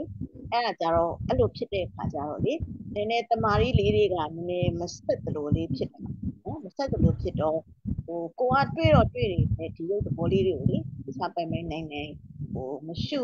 နိုင်သေးဘူးလို့အဲ့လိုလေးဖြစ်လေကိုကနည်းနည်းလေးစိတ်ကပ်နေတယ်အဲ့တော့အဲ့သဘောလေးကိုလေဟိုကသူ့ရဲ့တော့ဒေါ်ဆွနနာပဲတစ်ချက်ကလေးပေါ့နော်ဒေါ်ဆွနနာပေါ့နော်ဒေါ်ဆွနနာဟိုကတွေ့ပါတယ်တွေ့စရာရှိတယ်တွေ့နော်အဲ့လေပို့ပြပေါ့နော်ဒါလေးတွေကိုသိချာလေးတွေ့အောင်ခုနကဒီဘက်ကဘောလေးကိုလည်းသိချင်တယ်ဒါလေးကိုလေဒေါ်ဆွနနာကသူ့တို့ယူပြီးတော့ပေါ့နော်ဒီတဲ့နည်းနည်းလေးပို့ပြီးတော့တဲ့သွားအောင်နည်းနည်းလေးဒါလိုဆွေးနွေးကြည့်ကြတယ် နော်ဒေါ်ဆွနနာဟုတ်အတနာပါမလေအရင်ဆရာကြီးကိုလျှောက်တာမဟိုတွေ့နေပါတယ်မတွေ့နေပါတယ်ဒါပေမဲ့အခုတို့တခါလေကျရင်သူတို့တွေကဟိုခုနကတော့တွေ့ပြီးသားပြန်တွေ့ရမယ်ဆိုတော့နည်းနည်းလောတာပေါ့နော်သူဆိုတဲ့အခါကျတော့ဟို တွေ့တယ်ဆိုလို့ရှိရင်သူ့ဟာသူသူသူ့တိုင်းထားပြီးတော့ကြည်နေနေပဲမှဟိုတွေ့တာပိုတဲ့သွားတာပေါ့အဲ့လိုမဟုတ်ပဲတခါကျရင်ကိုကစိတ်လောလိုက်တယ်ဆိုတော့သူတို့လည်းစဟိုအမြဲတမ်းတော့မဟုတ်ဘူးနော်စတွေ့ကစားတော့မှဆိုလို့အဲ့လိုမျိုးပဲကိုကတွေ့တာနဲ့ဟိုဟိုစားအဲ့ဟိုတိကမြောက်လို့လိုက်လို့ရှိရင်じゃတခါကျရင်အရှုခံမတင်ရှားပဲပျောက်သွားတယ်တခါလေးကျတော့လေကိုကဟိုတဲ့နေတဲ့ဟာဟိုကိုစိတ်ကအဲ့လိုမျိုးပေါ့နော်အတွေးလွင့်သွားပါပြီဆိုတော့ ဟိုအမြဲတမ်းတဲ့နေတာမဟုတ်ပေါ့နော်ဟိုခုနကပြောသလိုတွေ့တွေ့တဲ့ထုတ်အားထုတ်တဲ့လူကတော့သူကဒီတိုင်းတောက်လျှောက်ကြီးဟိုကောင်းနေကြတာပေါ့ဆိုဆရာပြောသူမမျောနဲ့ဆိုရင်တော့ဒါလေးတွေကတော့ရှိတော့ရှိတယ်အဲ့လိုခါမျိုးကြတော့ balance ကနည်းနည်းလေးခြိုင်သွားတာပါဟိုမတန်ပြောသူမအရင်လဲလျှောက်တယ်ဆိုတဲ့အခါကျတော့လုံကြီးလေးတွေကတည်နေနည်းနည်းဟိုဘယ်လိုကောမလဲကိုယ်စိတ်ကိုပဲစိတ်ကိုပဲကိုပြန်ကြည့်ရဆိုတဲ့အချိန်ကျတော့အဲ့ကြည့်တဲ့အချိန်မှာကျတော့အမဟိုဟိုဘက်ဒီဘက်ကို မကတ်တာကိုပဲကျမတို့ကလွတ်လွတ်သိတယ်လို့ခေါ်တာလေအဲ့လိုဆိုတဲ့အခါကျအမဒီ share အရှုခံဘက်ကိုခုနကပြောသူမတည့်သေးမတည့်သေးဘူးဆိုတာဟိုခုနကကိုကြည့်တဲ့အချိန်မှာဟိုတိဟိုဘက်ရောက်သွားဒီဘက်ကပျောက်သွားတယ်အဲ့လိုမျိုးဖြစ်တဲ့အချိန်ကျတော့ကိုကဒါနည်းနည်းလွတ်တယ်လို့ဖြစ်သွားပါတော့မအဲ့ဒါဆိုတော့အဲ့ဒီအချိန်မှာမလွတ်ဘဲနဲ့ share အရှုခံကိုလည်းသိရင်နဲ့ စိတ်ကိုလည်းသိတယ်အဲ့လိုမျိုးနှစ်ပတ်စလုံးမှာအဲ့ဒါကြတော့မှညီသွားပြီပေါ့နော်အဲ့အဲ့လိုမျိုးလေးတော့စုရထင်ပါတယ်မှဟုတ်ဟိုဒါလေးကျရင်အများတန်းရတာမလို့ကိုကလွတ်တဲ့အချိန်ကိုဒါကိုသွားပြီးတော့ဟိုဖြစ်တာပေါ့နော်မလုံးနေကြဆိုတော့မရမှာပေါ့ဟုတ်ကဲ့ပါဆရာကျေးဇူးပါဆရာဟုတ်ကဲ့ပါမယ်ဟုတ်ဒေါ်ဆန္ဒကလေရှုမှတ်အားလေကောင်းပြီးသားပါကျမတို့လည်းအရင်ကဆန္ဒပြုပြုနေဆရာကြီးကိုရှောက်ရှောက်နေတာလေ ဟိုတွေ့လဲတော်လေးတွေ့ရဟိုက်တွေ့နေပါပြီเนาะအဲ့တော့တချို့ရက်ဒီအဆင်ပြေတချို့ရက်အဆင်မပြေဆိုတာတော့ဒါတရားသဘောတွေပါပဲအဲတရားရှုမှတ်တဲ့တရားဒီသဘောလေးကိုနှလုံးသွင်းကြရမှာပါเนาะအဲအခုလည်းဒေါ်ဆန္ဒနည်းနည်းလေးကိုစိတ်မအေးရလေးပါတယ်ဥပ္ပခါဆိုတာကခုနဒေါ်ဆန္ဒကျမတို့ကဟိုဒါသူစုလဲသူဟိုကသူပြောတယ်လည်းပြောသွားပါတယ်เนาะသူတွေ့တဲ့နေရာလေးမှာဒီသဘောလေးတွေပဲဖြစ်ဖြစ်စိတ်သဘောလေးပဲဖြစ်ဖြစ်တွေ့ပြီးလို့ရှိရင်လေသူ့ကိုကျမတို့ကအဲတိုက်တာလည်းမဖြစ် မတိုက်တာလည်းမဖြစ်ပေါ့နော်ဒါလေးတွေဟိုကျမတို့ကတတ်နိုင်တဲ့လောက်ဖြစ်ပါပြီးတော့လေသဘောလေးတက်တက်တယ်ဆိုတာလေးကိုပေါ့နော်ကျမတို့ကဒီလိုလေးအကန့်ကြီးတဲ့နဲ့ခုနလိုနာမည်တွေမျိုးမျိုးပေါ့နော်ဒစိမ့်လိုအရှူရဲပြောပြောအဲဟိုတိယုံညာတိတယ်ပဲပြောပြောပေါ့နော်အဲ့လိုလေးကျမတို့ကရှုနိုင်အောင်ဟို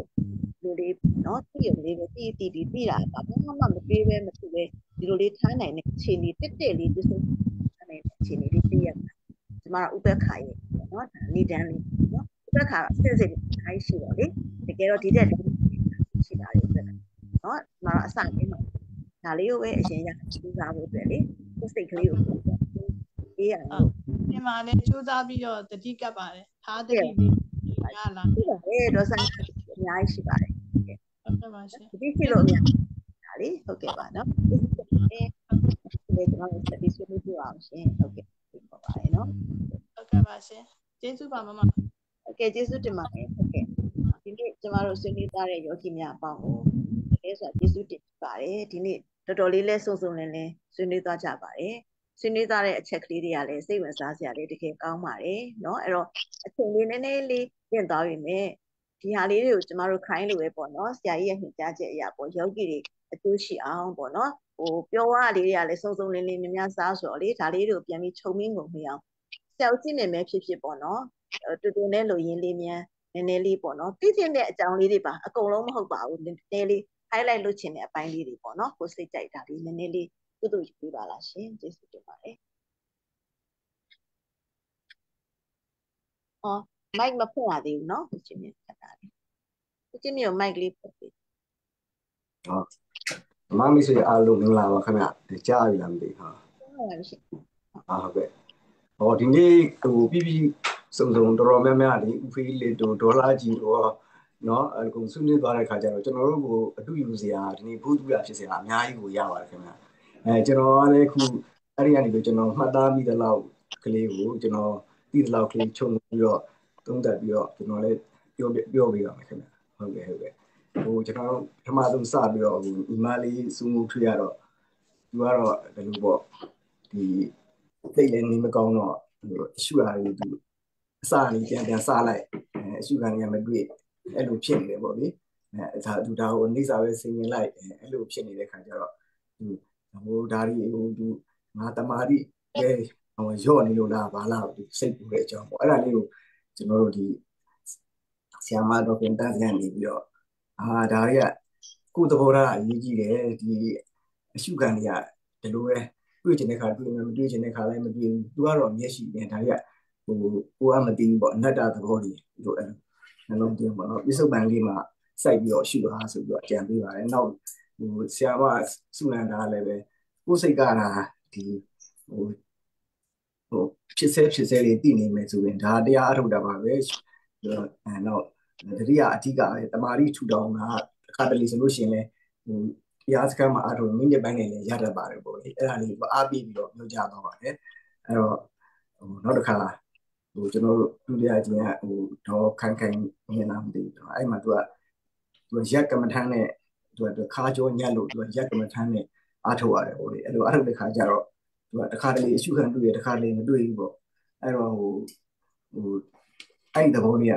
ဟိုတစ်ခါတလေလက်စိတ်ထဲမှာမွန်းကျက်တယ်လို့လည်းခံစားရတယ်ပေါ့သူအဲ့ဒါလေးပြောပြတဲ့ခါကျတော့ ဒီကဒီဆရာမတော်ခန္ဓာနေရာတရားပေါ်ရပေါ်ရပြရကိုထေရှားရရှုဒီ principle တွေလည်းမပြောက်စင်နဲ့ဒါနေရာနေရာနေရာတစ်ခုပဲဒါပြညတ်တစ်ခုပဲနှလုံးကသူဒီကိုနှလုံးကပရမတ်မဟုတ်ပေါ့ဒါပြညတ်တယ်ပေါ့သူအဲ့ဒါလေးအဲကြောင့်တတိထားပြီးတော့တတိကြောင့်ရလာတဲ့တမာရီလေးထူထောင်ပြီးရှုပြီးသူအဲ့ဒါလေးကိုအကျဉ်းခံပြပါတယ်အဲနောက်တစ်ခါအဲ့ဒီမှာဆရာမတို့အေးခံကနေပြီးတော့ ဟိုခုနဒီပြတ်သွားတဲ့အချိန်လေးမှာသူကနေဒီပြီးတော့ဒီထဲမှာနှလုံးသွင်းမှုထည့်ပေါ့နော် relax နဲ့ observe လုပ်ဖို့ကလည်းအရေးကြီးတယ်ပေါ့မတ်တက်ရထားတဲ့ခါခါကြတော့ခါဟိုခြုံကြည့်လို့တော့ကောင်းတယ်ပေါ့ဒါမှမဟုတ်သူကတအားသတိထားရတယ်ပေါ့နော်အဲ့ဒါကြောင့်နှလုံးခုံးတာအပြင်မှာဟိုသူကဘာရှိသေးလဲဆိုတာလေးကိုစူးစိုက်ကြည့်ရမယ်အဲ့မှာဟိုဒီသဘောတူသဘောတင်းသဘောလေးပါသိလာအောင်ဒီအရှုခံအဲ့ဒါလေးကဟို စိတ်ထဲမှာစိုက်ကြည့်ပေါ့အရှုခံပျောက်သွားလို့ရှိရင်လည်းဘာမှစိတ်မပေါ်နဲ့ပြန်စအဲ့လိုသူကဒီအားလုံးကြံ့ကြံ့ပြီးသွားပါတယ်ဗောနော်အဲ့မှာကျွန်တော်တို့ဒီတော့ခင်ဗျမျိုးကိုအထူးကြံပြီးတော့ဥပိလကတော်တော်လေးကိုသူ့ရဲ့အတွေ့အကြုံရဲ့ဣတိဆုံးဆုံးဆွေးနွေးသွားတာဗောနော်ဆွေးနွေးသွားတဲ့အခါမှာတကယ်သူဒီတရားရှိမှုံနဲ့ပတ်သက်ပြီးတော့ဒီဘလို့ဘလို့စိတ်ကို ဒီပေးရလောက်ရတယ်အဲ့မှာ तू ကအဲ့ဒါလေးကိုအားလုံးကိုတစ်ခုချင်းတစ်ခုချင်းကိုသူသူ့ရဲ့အတွေ့အကြုံလေးနဲ့သူသူဖြစ်ထူးတဲ့ဒီနှလုံးခုန်တာနဲ့ပတ်သက်ပြီးတော့အဲသူ့အတွေ့အကြုံလေးတွေကိုဥဖိလကတေချာလေးရှင်းပြသွားပါတယ်အဲ့မှာ तू ကဒီသူဒီနှလုံးခုန်တာလေးမဖြစ်ခင်တော့ तू ဝဲပေပေးရဘယ်လိုလုပ်လဲဆိုတာဒီအသက်စစချင်းစိတ်စိတ်နေစိတ်ထားလေးကို तू ပြင်တယ်အသက်ရှူနေရလေးကိုသတိထားတယ်လှုပ်ရှူရမဟုတ်အောင် ဒါဒါသူကသူ့တော်နဲ့သူရှုနေတာ အဲအဲ့လိုသူသတိထားတယ်ဒါမှသူတော်မှအချိန်မှအဲ့လိုပဲဒီလည်းပဲနှလုံးခုန်တာနဲ့ပတ်သက်လို့ဒီကြိုက်တာသိနေတွေ့တဲ့ခါကျနှလုံးခုန်တာသူ့မှာလည်းဖြစ်ဖြစ်ဖူးတယ်ပေါ့နော်အဲ့လိုဖြစ်တဲ့ခါကျတော့သူကစိတ်ရေးထားတယ်ဒါလည်းဟိုထိတာဟိုတိတာလေးတွေသူကအယူဆရှိတယ်အဲ့အချိန်မှာသူကတဖြည်းဖြည်းနဲ့ဒီအဲ့ဒီကနေပြီးတော့မှထိတာတိတာလေးတွေအရှင်းပြစင်းသွားပြီးဒီသဘောဤသဘောလေးကနေတီးသွားတယ်အောင်သတိကိုဆက်ဆက်ပြီးထားသွားတဲ့ခါကျတော့သူကဒီနှလုံးခုန်က ခါရဲပုံမှန်လေးပြန်ဝင်လာတယ်ပေါ့အဲ့မှာကျသူကအော်ဒါဒီဒီဒါကြောင့်မလို့ဒါတွေကနှလုံးခုန်ခုန်လာဆိုတော့တကယ်တမ်းကျတော့စိတ်ကြောင့်ဖြစ်တာစိတ်ကိုအေးအောင်ထားအေးစေးရှုအဲအဲ့ရနေစိတ်ရှုရနေပြီးတော့ရုပ်သဘောလေးတွေပါတွေ့အောင်ရှုဉာဏ်ဖြစ်အောင်ရှုဖို့သူကရှုပါတတိဝရိယတမာတိတွေအားကောင်းလာလို့ရှိရင်တော့ဒါဒီရုပ်သဘောတွေထင်ရှားလာပါလိမ့်မယ်ဆိုပြီးတော့ဥပိလက်ကအကြံဉာဏ်ပေးတော့ပါတယ်နော် နောက်ပြီးတော့ကျွန်တော်တို့အတွေးတွေပါနဲ့ပတ်သက်ပြီးတော့ဥဖိလက်ကတေချာပြောသွားတယ်သူကပြီးလို့ရှိရင်ပြီးမှန်းပြီးသူဆိုလို့ရှိရင်သူတစ်ခါတလေသူအတွေးစိတ်ကလေးပေါ်လာတယ်ဒါနဲ့သူကဥဖိလက်ကသူကအမြဲတမ်းသတိတမာတိပညာကိုအားကောင်းအောင်အားထုတ်ထားတဲ့ခါကျဖတ်ခနဲ့တွေးတာလေးပြီးမှန်းတလေလေးချင်းသူရုပ်သဘောတွေကပြန်ပေါ်လာတဲ့အကြောင်းတစ်ခါတလေဒီလူတဘာဝအရာပေါ့နော်ကြာကြာကြာရှုလာတဲ့ခါကျွန်တော်တို့ဒီရှုခံရဲ့သဘာဝလေးပျောက်သွားလို့ဒါသူက ညောသွားပြီးငိုက်သွားတယ်ဆိုပြီးဖြစ်သွားတော့မှသူကဒီပုဂ္ဂိုလ်ကိုသတိတမာဒီအားကောင်းထိန်းထားတဲ့ခါကျတော့ဒီရုပ်သဘောလေးတွေတစ်ခါပြန်တွေ့တဲ့အကြောင်းအာအားလုံးတစ်ခါတလေဟိုတောက်သွားလို့ရှိရင်လည်းသူချုံကြည့်လိုက်တဲ့ခါမှာရုပ်တွေကိုပြန်တွေ့တဲ့အကြောင်းပြောချင်တာကတော့ကျွန်တော်တို့ဟာဒီကျွန်တော်နားလဲလို့ပြောရလို့ရှိရင်ပေါ့နော်ဒီလိုဘာဝိတာဘဟုဒီကတာဆိုတာကျွန်တော်တို့ကျိန်ဖန်များစွာပွားများအားထုတ်တာထားရတဲ့ရေးအကျင့်တွေများလာလို့ရှိရင်ခုဥပ္ပိလေပြောတဲ့ဟာကျွန်တော်သဘောပေါက်လိုက်တာပေါ့နော် ဟိုဘလို့အချိန်မှာပဲဖြစ်ဖြစ်ပြန်ပြန်ပြီးတော့ဒီအရှုခံလေးတွေကိုပြန်ပြန်တွေ့တယ်ရုပ်သဘောလေးကိုပြန်တွေ့တယ်ပြန်ပြီးတော့ရှုနိုင်လာတယ်ဆိုတာအမှန်တန်အားတရပါတယ်ကျွန်တော်ဟိုကျွန်တော်မှားရင်ပြောပါကျွန်တော်ဥပ္ပိလေပြောတာလေအဲ့လိုသဘောပေါက်ပါတယ်နော်ကိုကကိုကဘာပဲပြောပြောကိုယ့်ဘက်ကမလိုအောင်ကျင်ခံထားစွာပေါ်များအားထုတ်ထားတယ်သတိသမားတွေဝိရိယတွေအားကောင်းတယ်ဆိုလို့ရှိရင်အရှုခံပျောက်သွားရင်တော့မှလည်းလည်းနဲ့ပြန်တွေ့တယ်ဆက်ပြီးတော့ရှုနိုင်တယ်ဆိုတော့ကျွန်တော်အဲ့ဒါလေးသိရတဲ့ခါကျတော့ကျွန်တော်တော့မှတော်တော်လေးကိုအားတယ်ဟာငါတို့ဒါတွေလိုသေးတယ် အဲငါတို့ဒါတွေများများရှုအောင်မယ်များများလေ့ကျင့်အောင်မယ်တခါတလေမတွေ့ဘူးဆိုတော့အခုဒီမလေးဟိုအစားဆုံးလုပ်တယ်ဆိုစူးမြထွေအဲသူတို့လိုပေါ့လေတခါတလေစိတ်မပြေအောင်တခါတလေလေးတွေ့မယ်တခါလေဒါဟိုအနတ္တသဘောတွေပဲပေါ့နော်ကိုလည်းထင်ချုံမရဘူးသူသဘောဆောင်တယ်ကိုကကိုယ့်ဘက်ကလူရဲ့အားထုတ်မှုကိုလည်းအားထုတ်ရမယ်ဆိုတော့အတိမျိုးကျွန်တော်ရပါတယ်ပေါ့နော်နောက်ဆုံးကြတော့တခါဟိုဒေါ်လာဒီကနေပြီးတော့ဒီ နောက်သူကတော့ဒီကနေ့ရနှလုံးပုံနဲ့ပတ်သက်ပြီးတော့ကြည်ကြည်ပြန့်ပြန့်လေးကိုသူကဆွေးနွေးတော့ပါတယ်သူကတော့ကျွန်တော်တို့ဒီဆရာကြီးရဲ့ဒီ principle တွေကိုလည်းသူကမိအောင်သူကအကုန်လုံးပြောနိုင်တယ်တကယ်လည်းလေ့ကျင့်အားလည်းကောင်းတယ်ပေါ့နော်လေ့ကျင့်အားလည်းကောင်းတယ်ဆိုတော့ကျွန်တော်သူကအများအားဒီဒီနှလုံးခုန်တာနဲ့ပတ်သက်ပြီးလို့ရှိရင်လည်းသူကဟိုသူပြောထားတယ်မှာဒီသူသူလည်းပဲဒါမျိုးကြုံမှုရပေါ့နော်နှလုံးခုန်တာတစ်ခါတည်းလည်းဟို ဒီနှလုံးခုန်တာပြင်းပြင်းထန်ထန်ဖြစ်တဲ့ခါကျတော့ဒီစိတ်မတည်မငြိမ်ဘူးလည်းဖြစ်ဖူးတယ်ပေါ့ဖြစ်ဖူးတဲ့ခါကျတော့သူကဟိုဘက်ကပြန်တော့ပြီးစိတ်ကိုငြိမ်အောင်ထားမယ်အဲနောက်တစ်ခါဟိုသူကဒီဥပမာလေးနဲ့ပေါ့လေဟိုသူတော့အများကြီးပြီးဆွေးနွေးတော့ရတယ်အဲပြီးတော့အဲ့မှာသူကဒီအတွေးစိတ်လေးတွေပေါ်လာလို့ရှိရင်လေသူကအဲ့ဒီအတွေးစိတ်ကိုဆရာကြီးပြောတဲ့နည်းလေးနဲ့ရှုလိုက်တဲ့ခါကျတော့မှဒီအတွေးတွေကိုချက်ချင်းပြောင်းအောင်ရှုနိုင်တယ်ပေါ့သူကနာမည်လေးတောင်ပြီးတော့အတွေးမဲ့စိတ်ဆိုတာမျိုးတောင်ဖြစ်သွားတယ်ပေါ့လေ အဲအဲ့ဒါကြောင့်မလို့ဒါကြောင့်မလို့သူဆွေးနွေးခါကျအမြဲတမ်းသူကအဲ့လိုခန္ဓာကိုရှုလို့ရှိရင်ရုပ်ကိုတွေ့ရမယ်အဲ့လို target ကိုအမြဲတမ်းတစ်ခုထားရမယ်ပေါ့အဲ target လေးထားပြီးရှုရမယ်နောက်ဟိုနောက်ဒီခုနကတော့နှလုံးခုန်တာကိုလည်းပဲဒါဟိုဒါသဘာဝတရားပဲဖြစ်တတ်တာပဲဆိုတာမျိုးလေနှလုံးသွင်းထားဖို့ဒါကြောင့်မို့သူကအားလုံးခြုံပြောလို့ရှိရင်သူကတာတာလေးထားလွတ်လွတ်ရှုစိတ်ကိုဟိုငြိမ်ငြိမ်လေးထား relax ထားဖို့ အဲအဲ့ဒါလေးအဓိကတော့ဟိုသူကတော့တကယ်ဟိုလေ့ကျင့်အားရှုအားကောင်းတဲ့ခါကျတော့ဒီဒီဒါတွေကငါနဲ့မဆိုင်ဘူးအဲအဲ့လိုနှလုံးသွင်းမှုတွေပေါ့လေအစုံလင်ပေါ့လေသူကပြောတော့ကျွန်တော်တို့ခုအဲ့ဒီအရင်ပြောကျွန်တော်တို့လည်းလေ့လာမှတ်သားရပါတယ်ပေါ့နော်အဲဒေါ်လာကျင်စင်ပညာကြီးကျွန်တော်တို့အများကြီးရပါတယ်အခုလိုဆွေးနွေးပေးတဲ့အတွက်လည်းအများကြီးကိုကျေးဇူးတင်ပါတယ်အဲကျွန်တော်ယောဂီတွေလည်းပဲ ဒီဒီနေ့ဆွေးနွေးသွားတာတွေကအတော်များများကောင်းတော့ကြတော့ဒီဥပိလေးရဲ့ဆွေးနွေးချက်တို့ဒေါ်လာကြီးရဲ့ဆွေးနွေးချက်တို့ဒါတော်တော်လေးကောင်းတဲ့အတွက်ကြောင့်ပြန်ပြီးတော့လေ့လာတင်ပါတယ်เนาะနောက်ပြီးတော့ဒီဒီနှလုံးခုနနဲ့ပတ်သက်ပြီးတော့ ကျွန်တော်တို့ကို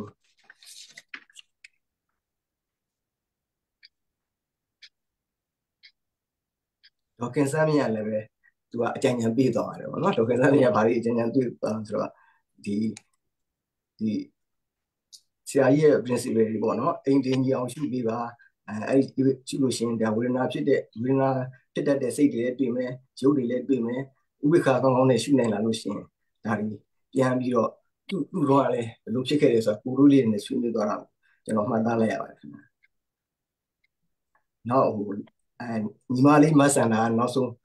ဒီဝင်လေထွက်လေမှတ်တဲ့အကြောင်းအဲခြေထောက်မှာတိုးလာတော့နောက်တစ်ခါပြောင်းမှတ်တယ်အဲ နောက်တစ်ခါတကူလုံးအရှင်းရှင်းပူလာတဲ့ဒါတွေကိုမှတ်တဲ့ခါကျတော့အဲအဲပူရာကိုပရမတ်ဆိုပြီးတော့ဆက်ရှူရပေါ့အဲမှာယောဂဖောက်ပြန်တာကိုစိတ်ကတိလာတယ်ဝေဒနာကိုလည်းကြည့်တဲ့အခါစိတ်ကအေးချမ်းသွားတယ်ပေါ့အဲ့ဒီခါကျတော့ဒါကိုဆရာမဒေါက်တာနှတ်စင်နေပြီးတော့နည်းနည်းဒီညီမလေးမဆန္ဒအဲပြောတဲ့အထက်မှာစိတ်မငြိမ်တာလေးတွားတွေ့တယ်ပေါ့နော်စိတ်ဆုံးချွေးတော့ပြန်လာတယ်ချွေးတာဖြစ်တယ်ဆိုတော့အဲ့တော့အမြဲတမ်းဒီသဘောလေးမှာ relax ထည့်ပြီးတော့ဒီ ပထမသဘောစစ်စစ်ကိုမရသေးခင်မှာဒီအရောတွေတွေ့နေတာလေးကိုလည်းပြန်ပြီးတော့သုံးသပ်ဖို့အကြံဉာဏ်ပေးတော့ပါတယ်။နောက်ညီမလေးစုနန္ဒာလည်းပဲအခုကနတ်ဆန္ဒကြီးဒါတွေတွေ့လဲတွေ့နေပြီဒီလိုပဲဖြစ်တတ်ပါတယ်ပေါ့တွေ့ပြီးသားတွေဆိုလို့ရှိရင်စိတ်ကလုံးလို့ရှိရင်အရှုခံတခါတည်းကြောက်တော့တာသူလည်းကြုံတဲ့အကြောင်းဒီတရားစခန်းတွေမှာဆိုရင်ဒါတွေကအများကြီးမတွေ့ရမမျော်နဲ့အဲဟိုမမျော်နဲ့ဆရာကြီးပြောတယ်ပေါ့မတွေးနဲ့ဆိုတဲ့ဟာလေးတွေဟိုသူကပြန်ပြီးတော့ကိုယ်စိတ်ကိုပြန်ပြီးတော့ကြည့်ဖို့ နောက်ဟိုဘက်ဒီဘက်ကိုလည်းမကပ်ဖက်လွတ်လွတ်ကလေးတည်အောင်ရှုဖို့အဲသူသူအကြမ်းကြမ်းတောင်းတဲ့ဒီဟိုနဲ့ပတ်သက်ပြီးတော့နည်းနည်းဒီမှာလေးစုနန္ဒာလည်းဆွေးနွေးသွားပါတယ်အဲ့တော့ကျွန်တော်ဒီနေ့ရှုမှတ်တဲ့ထဲကတော့ဟိုတော်တော်များများကိုဟိုကျွန်တော်မှတ်ပြီးသလောက်ပေါ့လေသူဆွေးနွေးတာပါအားလုံးဟိုလူရာရှိရင်လေဟိုဖြည့်ပြီးတော့ဒီခန္ဓာတော့ကျွန်တော်မှတ်ပြီးသလောက်ကလေးကတော့ဒီလောက်ပါပဲအားလုံးအားလုံးမင်္ဂလာပါလို့ဆိုပါတယ်ခင်ဗျာ ပြည့်စုံပါအားလုံးကျေးဇူးတင်ပါတယ်ဟုတ်ကဲ့ဟုတ်ကဲ့ပါကဲအားလုံးသောဓမ္မမိတ်ဆွေများပေါင်းလို့ရှင်ယနေ့ဆွေးနွေးပွဲလေးရတော့ဒီမှာပဲရနာပါမယ်အားလုံးသောဆွေးနွေးကြတဲ့ကုသိုလ်ယူပြီးပြန်လည်ဆွေးနွေးပြီးဓမ္မမိတ်ဆွေညီမတို့လည်းတိုက်လဲစွာကျေးဇူးတင်ရှိပါတယ်အားလုံးပဲနှလုံးခုန်တန်လေးကိုဒီကတွေ့ရင်တော့တတိလေးကပ်ပြီးရှုမှတ်ရင်တရားတွေပို့ပြီးတက်ပါစေလို့လည်းဆုတောင်းပါတယ်ကျေးဇူးတင်ပါတယ်ရှင် အမြင်သိရအောင်နော်မမတက်မနေ့ကအစီအစဉ်လေးပြောပေးပါဦးမမတက်ဟုတ်ကဲ့ဟုတ်ကျေးဇူးပါတတိပေးတာမနေ့ပြန်တော့တောက်ကြနေပေါ့နော်တောက်ကြနေဆိုတော့ကျမတို့ခိုင်းလို့ပါပဲ၈နာရီက9နာရီကိုစုပေါင်းတရားထိုင်ကြပြီး9နာရီမှာဆရာယူတစ်လွင်ကတရားဆွေးနွေးမှုကိုယောဂီများနဲ့အဲဆွေးနွေးမှာဖြစ်တဲ့အတွက်ကြောင့်တရားယောဂီပေါင်းတို့ဆရာကြီးနဲ့ရှုမှတ်မှုများကိုဆွေးနွေးနိုင်ရန်အတွက်ပြင်ဆင်နိုင်ကြပါတယ်အားလုံးကိုနော်ဟုတ်ကဲ့ပါကျေးဇူးပါမမတက် ကျေးဇူးပါဟုတ်ကဲ့ဒီနေ့ညပြုရသောကုသိုလ်ကောင်းမှုစုစုတို့ကိုအမျှပေးဝေကြပါမယ်ရှင်။ဒီနေ့ယခုပြုပြုသည်မြမြတ်ပါကကိုမိဘဆရာမျိုးသားနှင့်ကိုမဆောင်ချက်ကိုဆောင်နကအရင်စား၍ရှိသည်မြလုံးစုံဘုံ31ဖြစ်ဖြစ်သည်မြဝိနည်းရတို့ရကြပါစေပေးငါဝီသည် ညာထွေတာတုကိုစီတော်ကုသိုလ်မြတ်မြတ်မြတ်ယူတော်မူကြပါဘောသာ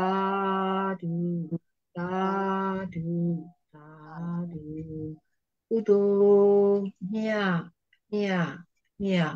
ယူတော်မူကြပါဘုံတော် သာဓုကုသိုလ်မြတ်အမြတ်အမြတ်ယူတော်မူကြပါဘုံတော်သာဓုသာဓုသာဓုဓမ္မမိတ်ဆွေမမများအားလုံးကိုချမ်းသာစိတ်ချမ်းသာ၍လူရဆန္ဒများပြေဝကြပါစေ